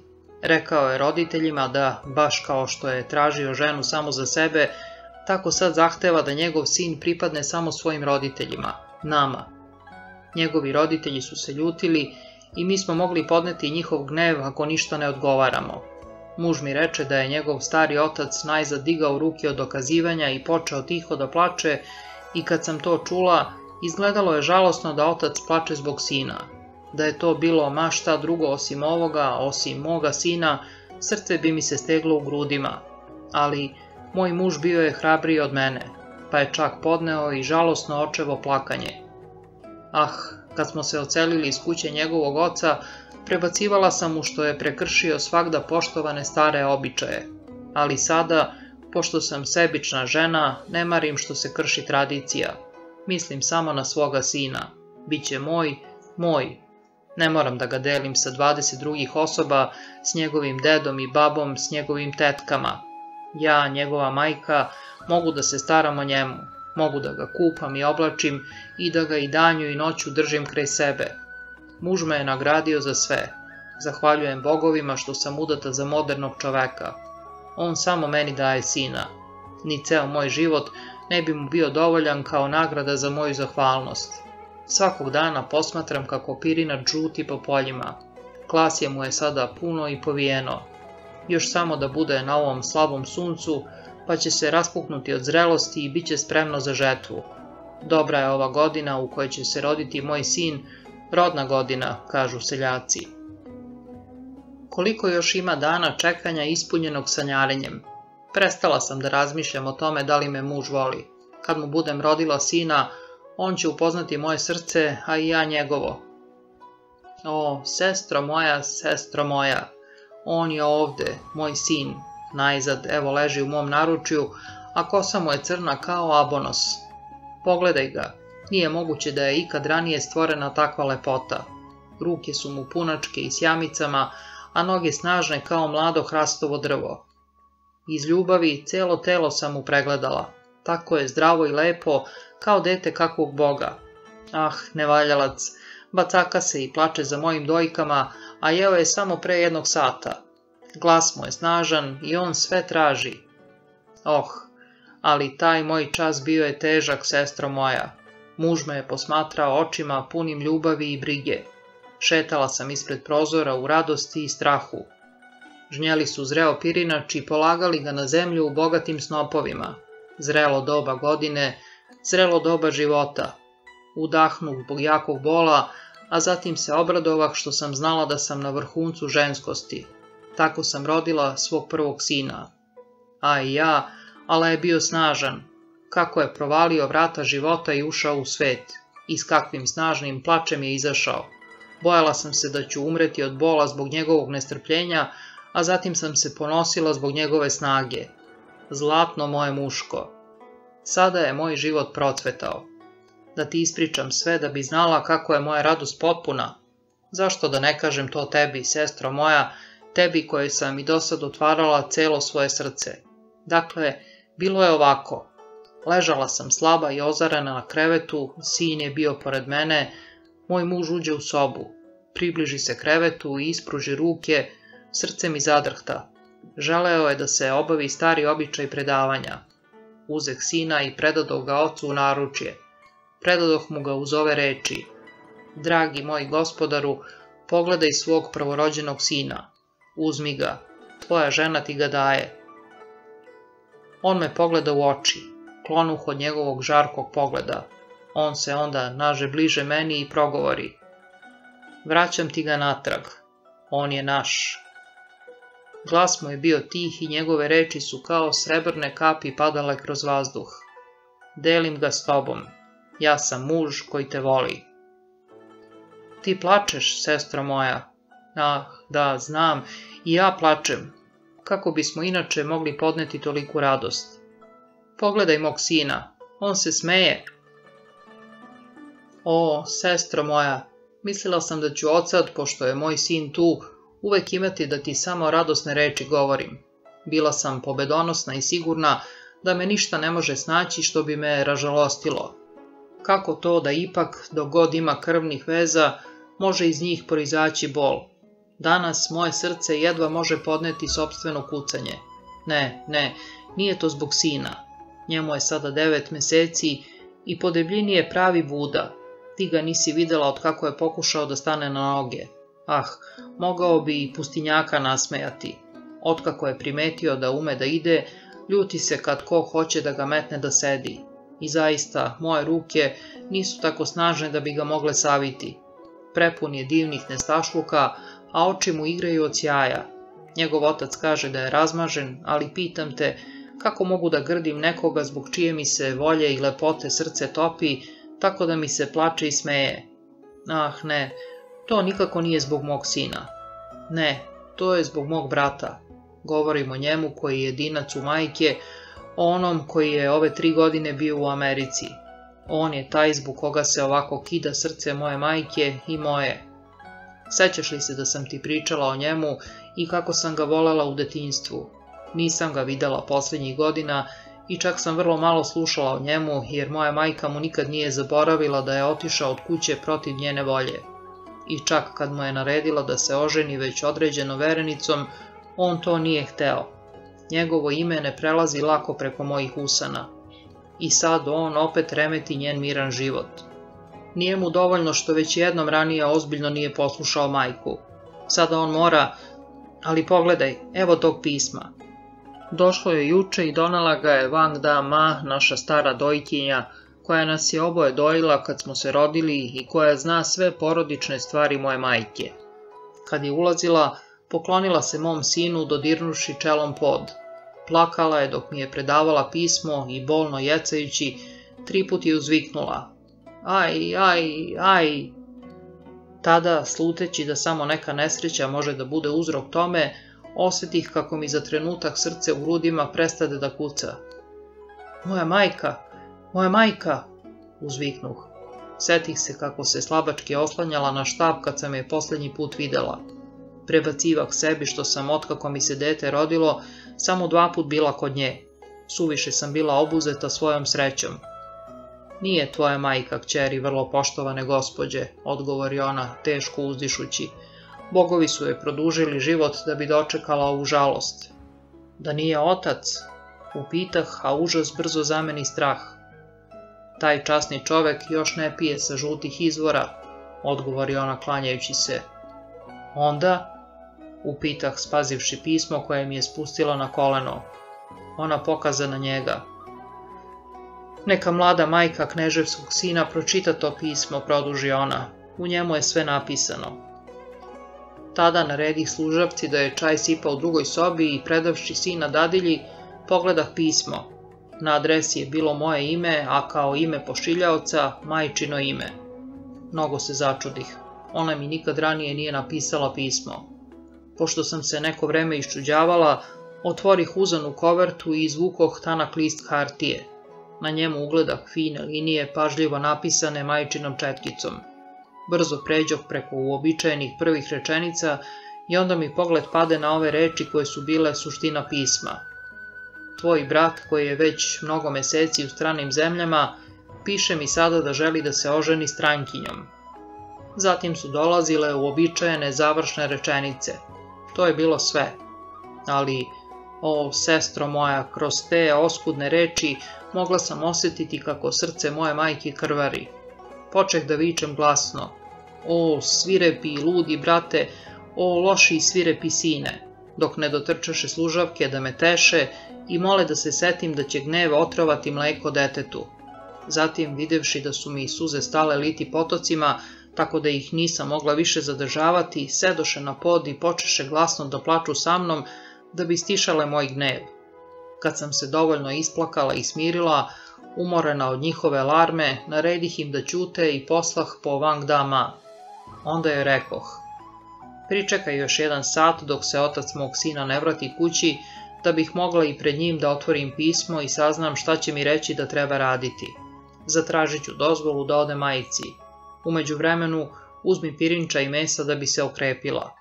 Ona rado pristade i ja naredih da se pred nju iznese lepo parče svinjetine, nalazeći utehe u tome što sam je na ovaj način tešila zbog saučešća u našoj porodičnoj nesreći. Očekujući povratak muža, razmišljala sam i sama u svojoj sobi. Sećala sam se brata. Ma kako se trudila, nisam ga mogla predstaviti sebi onako kakav je sada odrastao čovek obučen u američko odelo kako neustrašivo ide stranim drumovima te dalike zemlje i možda razgovara s muškarcima i ženama, ne, ovo poslednje sigurno ne, pošto on voli jednu ženu. Mogla sam samo da ga se setijem u mislima onako kako sam ga najbolje znala, mali stariji brat iz mog detinstva, onaj s kojim sam se igrala na pragu dvorišnih kapija. Onda je bio za glavu viši od mene, brzo se kretao, uzbuđeno govorio i bio živahan pri smejanju. Lice mu je bilo slično majčinom, ovalno, usne prave i fine, a obrve jasno ocrtane iznad bademastih očiju. Starije milosnice bile su uvek ljubomorne zato što je bio lepši od njihovih sinova, a kako bi i mogao biti drugačiji. One su bile samo obične žene, u mladosti robinje, usne su im bile debele i grube, a obrve nakostrešene kao pseće dlake. Moja mati je bila dama poreklom iz stotine pokolenja. Njena lepota bila je određena i fina, puna uzdržljivosti u linijama i bojama. Tu lepotu prenela je i na sina. Ali on nije mario za to. Nestrpljivo je sklanjao prste robinja koje su ga milovale po glatkim obrazima kad su mu laskale da bi se dodvorile njegovoj majci. Bio je predan svojoj igri. I zaista, bio je sav usredsređen čak i u igri i u smehu. Izgleda mi da ga uvek vidim nabranih obrva pri igri.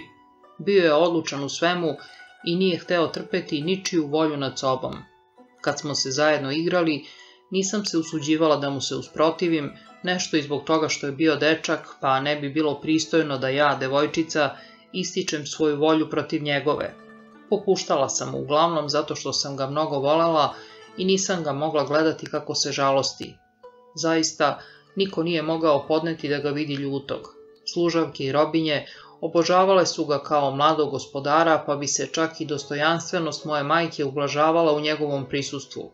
Ne mislim da kažem da mu je ikad stvarno dozvoljavala da ne posluša njene naredbe, ali mislim da se često obuzdavala tako da bi ono što mu je naređivala bilo u saglasnosti s njegovim željama. Čula sam kako naređuje služavki da skloni sa stola kolač sa uljem pre nego što on uđe, pošto ga je on voleo i pojeo bi ga, a uvek bi mu pozilo od njega, i da ga, ugledavši ga, ne bi poželeo, a da ona ne bude prinuđena da ga odbije. Pa i dok je bio mladić, život mu je tako bio olakšavan. Nikad mi nije padalo na pamet da obraćam pažnju na razliku koju su pravili između njega i mene. Nikad nisam ni sanjala o tome da budem ravna svom bratu. Nije bilo ni potrebno. Ja nisam imala da ispunim tako važnu ulogu u porodici kao on, prvi sin i očev naslednik. U tim danima brata sam volala više nego sve druge. Šetala sam s njim po vrtovima, držeći ga za ruku. Zajedno smo se naginjali nad plitke bazene, tražeći u njihovim zelenim senkama naročite zlatne ribice koje smo nazivali svojima. Zajedno smo skupljali kamenčiće raznih boja i gradili vilinska dvorišta po ugledu na naša dvorišta, samo vrlo mala i složena po zamisli. Kad me je učio da pažljivo povlačim četkicu preko ocrtanih slova moje prve pisanke i vodio moju ruku, stavljajući preko nje svoju, smatrala sam ga za najmudrije ljudsko biće. Kuda god je išao po ženskim dvorištima, pratila sam ga kao psetance, a ako bi otišao s druge strane zasvođene kapije u muška odeljenja u koje ja nisam mogla ići, stajala sam ispred njih strpljivo čekajući da se vrati. Onda je odjednom napunio devet godina i odveden iz ženskih odeljenja u odaje svog oca i muškaraca, a naš zajednički život naglo je prekinut. Oh, tih prvih nekoliko dana, nijedan nije mogao proći bez dugih nastupa plača. Noću dok ne bih zaspala, plakala sam i sanjala o mestu gde bismo uvek bili deca i nikad razdvojeni. Ah, prošlo je mnogo dana dok nisam prestala da tugujem, smatrajući svaku sobu bez njega praznom. Majka se najzad uplašila za moje zdravlje i rekla mi, Kćeri moja, ova stalna tvoja čežnja za bratom neprilična je. Takvo osjećanje mora da se sačuva za druge rodbinske veze. Takav bol odgovara samo za smrt roditelja tvoga muža. Stoga shvati šta dolikuje u životu i obuzdaj se. Posveti se svome učenju i vezu. Sad je došlo vreme kad te moramo ozbiljno spremati za udaju. Otada su mi stalno predočavali udaju koja se približavala. Počela sam da shvatam da moj život i život moga brata nikad ne mogu ići uporedo. Ja ne pripadam na prvom mestu njegovoj porodici, nego porodici svoga verenika. Stoga poslušah majčine reči i odlučno se posvetih svojim dužnostima. Opet se jasno sećam brata onoga dana kad je želeo da ide u školu u Peking. Došao je pred majku da po običaju zatraži njeno odobrenje, a i ja sam bila tu. Pošto je već dobio očev pristanak, njegov dolazak majci bio je samo učtivost. Majka bi teško mogla da zabrani ono što je otac već dozvolio. Ali moj brat je uvek bio savestan u ispunjavanju odgovarajućih spoljašnjih formi. Stajao je pred njom obučen u odelo tanke sive svile, pošto je bilo leto. Na palcu je imao prsten od žada. Moj brat je uvek bio ljubitelj lepih stvari, Tog dana ljubkošću me je podsjetio na srebrnastu trsku. Glavu je držao malo pognutu pred majkom, a oči oborene, ali sa mesta na kome sam sedela mogla sam da vidim kako mu se oči blistaju između kapaka. Majko, reče on, ako si ti voljna, želeo bih dalje da studiram na univerzitetu u Pekingu. Ona je naravno znala da mora pristati, a on je znao da bi mu zabranila da je mogla. Ali dok bi druga gubila vreme jadikujući i plačući, ona je odmah mirno odlučno progovorila. Sine moj, ti znaš da mora da bude onako kako tvoj otac kaže. Ja sam samo tvoja majka, to znam. Ipak, hoću da govorim, čak iako ne mogu sad da ti naredim protivno volji tvoga oca. Tvoj otac i deda završili su studije kod kuće i ti si imao najsposobnije naučnike u Varoši da te od detinstva uče. Čak smo uspjeli da dobijemo Tanga, Učenog i Sečuana da te uči poeziji. To strano studiranje nije potrebno onome koje je na tvom položaju. Odlaskom u te daleke gradove dovodiš u opasnost život koji nije potpuno tvoj dok nam ne daš sina koji će produžiti da nosi ime tvojih predaka. Da si mogao prvo da se oženiš, moj brat ljutito zatvori lepezu koju je držao otvorenu u levoj ruci. Zatim je opet brzo i šumno otvori. Podiže oči i iz njih izbi protest. Majka podiže ruku. Ne govori, sine moj. Ja još ne naređujem, samo te opominjem. Tvoj život nije samo tvoj. Čuvaj ga. Ona klimnu glavom i on je mogao ići. Redko sam ga posle toga viđala. Dolazio je kući samo dva put pre mog venčanja i nismo imali ništa jedno drugom da kažemo, a i nikad nismo bili nasamo. Skoro uvek je dolazio u ženska dvorišta samo da po običaju pozdravi majku ili da joj kaže zbogom, a ja nisam mogla u prisustvu drugih s njim slobodno da razgovaram. Videla sam samo da je porastao i da je pravog držanja i da moje lice je izgubilo nešto od mladalačke nežnosti. Izgubio je takođe vitku detinsku draž povijenog tela, koja mu je ranijih godina skoro davala izgled lepe devojke. Čula sam ga kako priča majci da je u toj školi stranog tipa morao svakog dana da izvodi telesna vežbanja i zato je porastao, ugojio se i raskrupnjao. Kosu je pocecao po novoj modi iz vremena prve revolucije i ona je bila glatka i crna na njegovoj uzdignutoj glavi. Videla sam da je bio lep. Žene iz dvorišta uzdisale su za njim, a debela druga dama mrmljala je. Ah, on liči na svog oca kad je naša ljubav započela. Zatim, moj brat otputova preko mora i otad ga više nisam videla. Njegov je lik potamneo u mojim mislima i bio zamagljen svim onim čudnim stvarima koje su ga okruživale, tako da ga više nisam jasno videla. Dok sam sedela u svojoj sobi očekujući povratak muža, s majčinim pismom u ruci, osetih da mi je brat stran čovek koga ne poznajem. Kad moj muž stiže u podne kući, pritrčah mu plačući s pismom u ispruženoj ruci.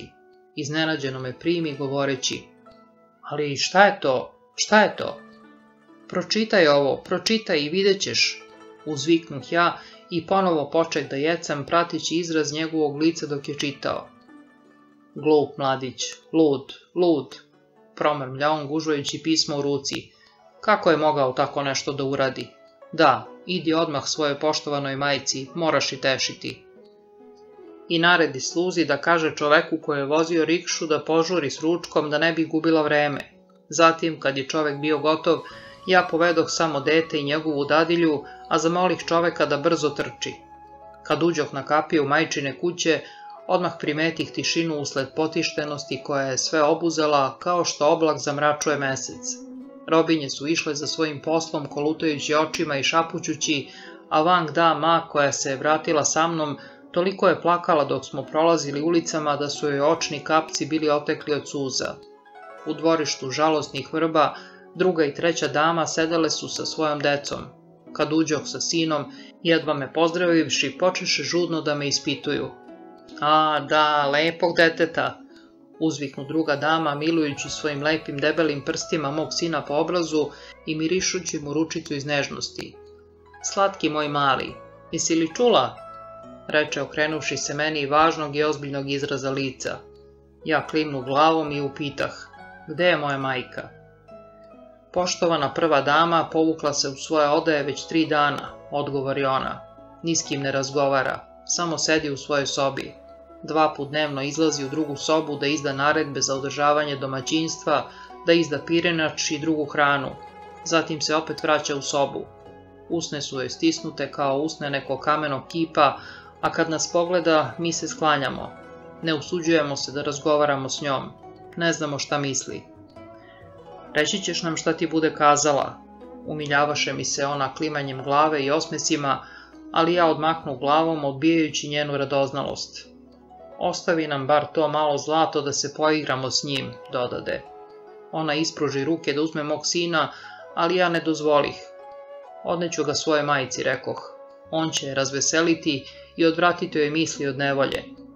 Kad sam prošla kroz gostinsku sobu i ušla u dvorište Božura, a zatim kroz žensku sobu za odmaranje, zastala sam pred majčinim odajama. Na ulazu je obično visila samo crvena satenska zavesa, ali sada su bila i vrata zatvorena. Onda lako udarih dlanom na vrata. Odgovora nije bilo. Udarih ponovo. Tek kad sam doviknula, to sam ja, majko, to sam ja, tvoje dete, čuh njen glas kao da dolazi iz velike daljine. Dođi k meni, kćeri moja. Tada uđoh. Ugledah je kako sedi pored crnog stola u duborezu. Tam je netinjao u bronzonoj urni pred svetim pismom na zidu. Sedela je oborene glave, a u opuštenoj ruci držala je knjigu. Kad vide da sam ušla, reče mi. Došla si? Pokušavala sam da čitam knjigu promena, ali danas ne nalazim ništa u njoj što bi me utešilo. Dok je to govorila, mahala je glavom malo neodređeno, a knjiga joj pade na pod. Ona je nije dizala. Uznemiri me ta njena neodlučnost. Majka je uvijek bila pribrana, sigurna u sebe i uzdržana. Sada uvideh da je suviše dugo bila sama i prebacivah sebi što sam isuviše voljela svog sina i što me nežnost njegovog oca tešila isuviše duboko i isuviše dugo. Prošlo je mnogo dana od kako sam je posetila. Kako bih mogla da je otrgnem i odvratim od njenih misli? Uzeh sina i uspravi ga na njegove punačke noge, sklopih mu ručice i natera ga da se pokloni pred njom. Šapnuh mu. Tvoja poštovana stara majka. Ponovi to, dete moje. Stara majka, protepa on gledajući je i ne smešeći se. Rekla sam ti da ga nije videla od njegovog trećeg meseca, a ti znaš, sestro moja, koliko je on savršeno lep. Ko bi mogao da mu odoli? Njen pogled pade na njega i zadrža se na njemu. Ona se zatim diže. Ode do pozlaćenog ormana i izvadi jednu crvenu lakiranu kutiju. Otvori je. Unutra su bili sitni kolači posuti semenom susama. Dade mu ih puneći mu ruke. Kad ih ugleda, glasno se nasmeja, a ona mu povlađivaše slabim osmehom. Jedi, mali moj lotosov cvete, jedi, slatki moj mali. Videvši je tako malo raspoloženiju, podigo knjigu i iz bokala na stolu sipah čaju šolju, pružajući joj obema rukama. Ona mi onda naredi da sednem. Dete se igralo na podu, a mi smo ga gledale. Čekala sam da ona progovori, nisam znala želi li da pominje mog brata. Sin ti je tu, kćeri moja. Tada se setih one noći kad sam joj pričala o svom bolu, a sada su bili dani radosti. Da, majko, odgovorih smešeći se. Jesi li srećna? Upita me još gledajući u dete. Moj gospodar se obhodi s kneževskom milošću prema meni i svojoj poniznoj ženi, odgovorih. Dete kao da je začeto i rođeno u savršenstvu, reče ona zamišljeno, stalno gledajući u njega. Kako vidim, u svemu je potpun i savršen. Nikakva veća lepota ne može mu se poželeti. Ah, uzdahnu ona i pomače se uznemireno. To je brat bio isto takvo dete. Volela bih da je onda umro, da bih ga se sećala kao lepog i dobrog sina. Po tome razume dok da je želela da mi govori o mom bratu, ali čekala sam da jasnije uočim pravac njenih misli. Posle kratkog vremena opet progovori podižući pogled na mene. Dobila si moje pismo. Primila sam jutros majčino pismo preko služavke, odgovorih klanjajući se. Ona opet uzdahnu i podigavši se, ode do fioke pisaćeg stola i otut izvadi još jedno pismo. Stajala sam i čekala da se vrati. Kad mi dade to pismo, primi ga obema rukama. Ona reče, pročitaj ga. Ono je bilo od prijatelja moga brata po imenu Chu, s kojim je otišao iz Pekinga u Ameriku. Na zahtev mog brata stajalo je u pismu on, Chu Kwok Ting, pisao je poštovanim starima da im kaže da se njihov sin po zapadnjačkim običajima verio sa čerkom jednog od svojih profesora univerziteta. On, njihov sin, izražava poštovanje roditeljima i moli ih da raskinu ranu veritbu sa Liovom čerkom, jer je zbog te veritbe bio nesrećan. U svemu je priznavao uzvišenu vrlinu svojih roditelja i njihovu beskrajnu ljubav prema nedostojnom sinu. Ipak je želao jasno da kaže da se ne može oženiti onom s kojim su ga verili po kineskom običaju, pošto su se vremena promenila. On je savremen čovek i odlučio je da prihvati savremenu, nezavisnu, slobodnu vrstu braka. Pismo se završavalo mnogim uobičajenim izrazima ljubavi, punim poštovanja i poslušnosti, ali pri svemu tome bratovljeva odlučnost bila je jasno istaknuta. Zamolio je prijatelja da piše umesto njega samo zato što je želeo da poštedi i roditelje i sebe direktnog protivljenja. Srce mi je usplamtelo protiv njega dok sam čitala to pismo. Kad ga pročitah, savih ga i bez reči predadoh majci. Obuzelo ga je nekakvo ludilo, reče majka. Poslala sam mu telegrafsko pismo i naredila mu da se odmah vrati. Tada sam uvidela koliko je bila velika njena uznemirenost, jer moja mati sasvim pripada staroj kinji, kad su po ulicama našeg starinskog i lepog grada podignuti visoki stubovi koji su nosili žice kao što grane drveća nose paukove mreže, pobunila se protiv obesvećenja. Naši stari upotrebljavali su četkicu i mastilo, a šta to imamo da kažemo mi i njihovi nedostojni potomci, što je od veće važnosti nego njihove uzvišene reči, pa da nam je potrebna takva brzina, govorila je ljutito a kad je čula da reči mogu putovati čak i ispod samog mora, rekla je, a šta bismo mi to mogli želeti da saopštimo onim varvarima? Zar nisu bogovi u svojoj mudrosti razlili more između nas da bi nas odvojili od njih? Bezbožno je sjedinjavati ono što su bogovi svojom mudrošću razdvojili.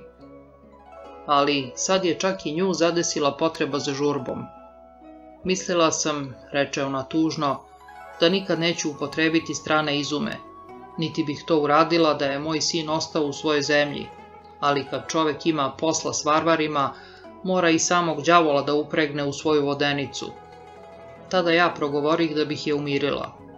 Majko, ne žalosti se suviše. Moj brat je poslušan. Poslušat će te i odustaće od ludosti da juri za strankinjom.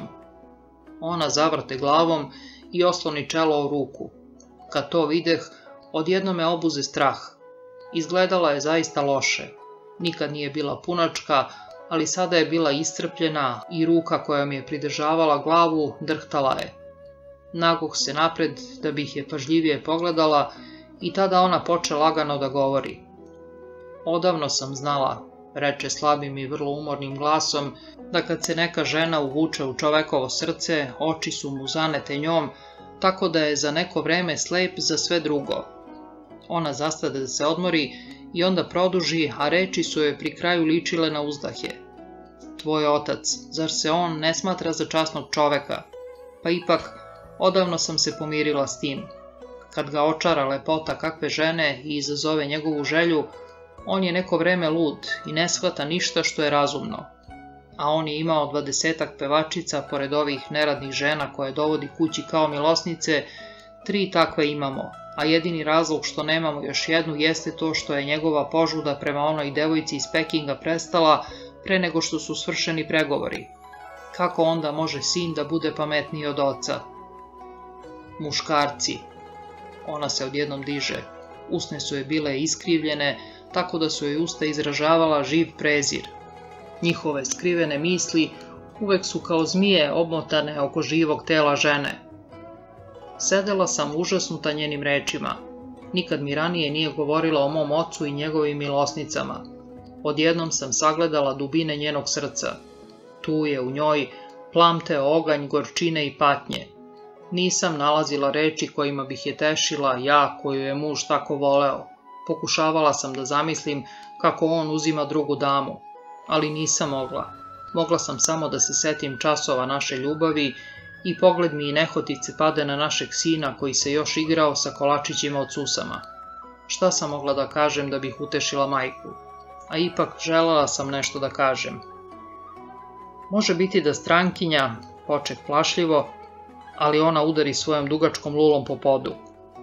Baš ju je bila uzela sa stola i počela užurbano puniti drhtavim prstima. Ne pričajmo o njoj, reče oštro, Kazala sam šta sam imala. Sada je na mom sinu da posluša. On će se vratiti i oženiti Lijovom čerkom, svojom verenicom i od nje će biti njegov prvi porod.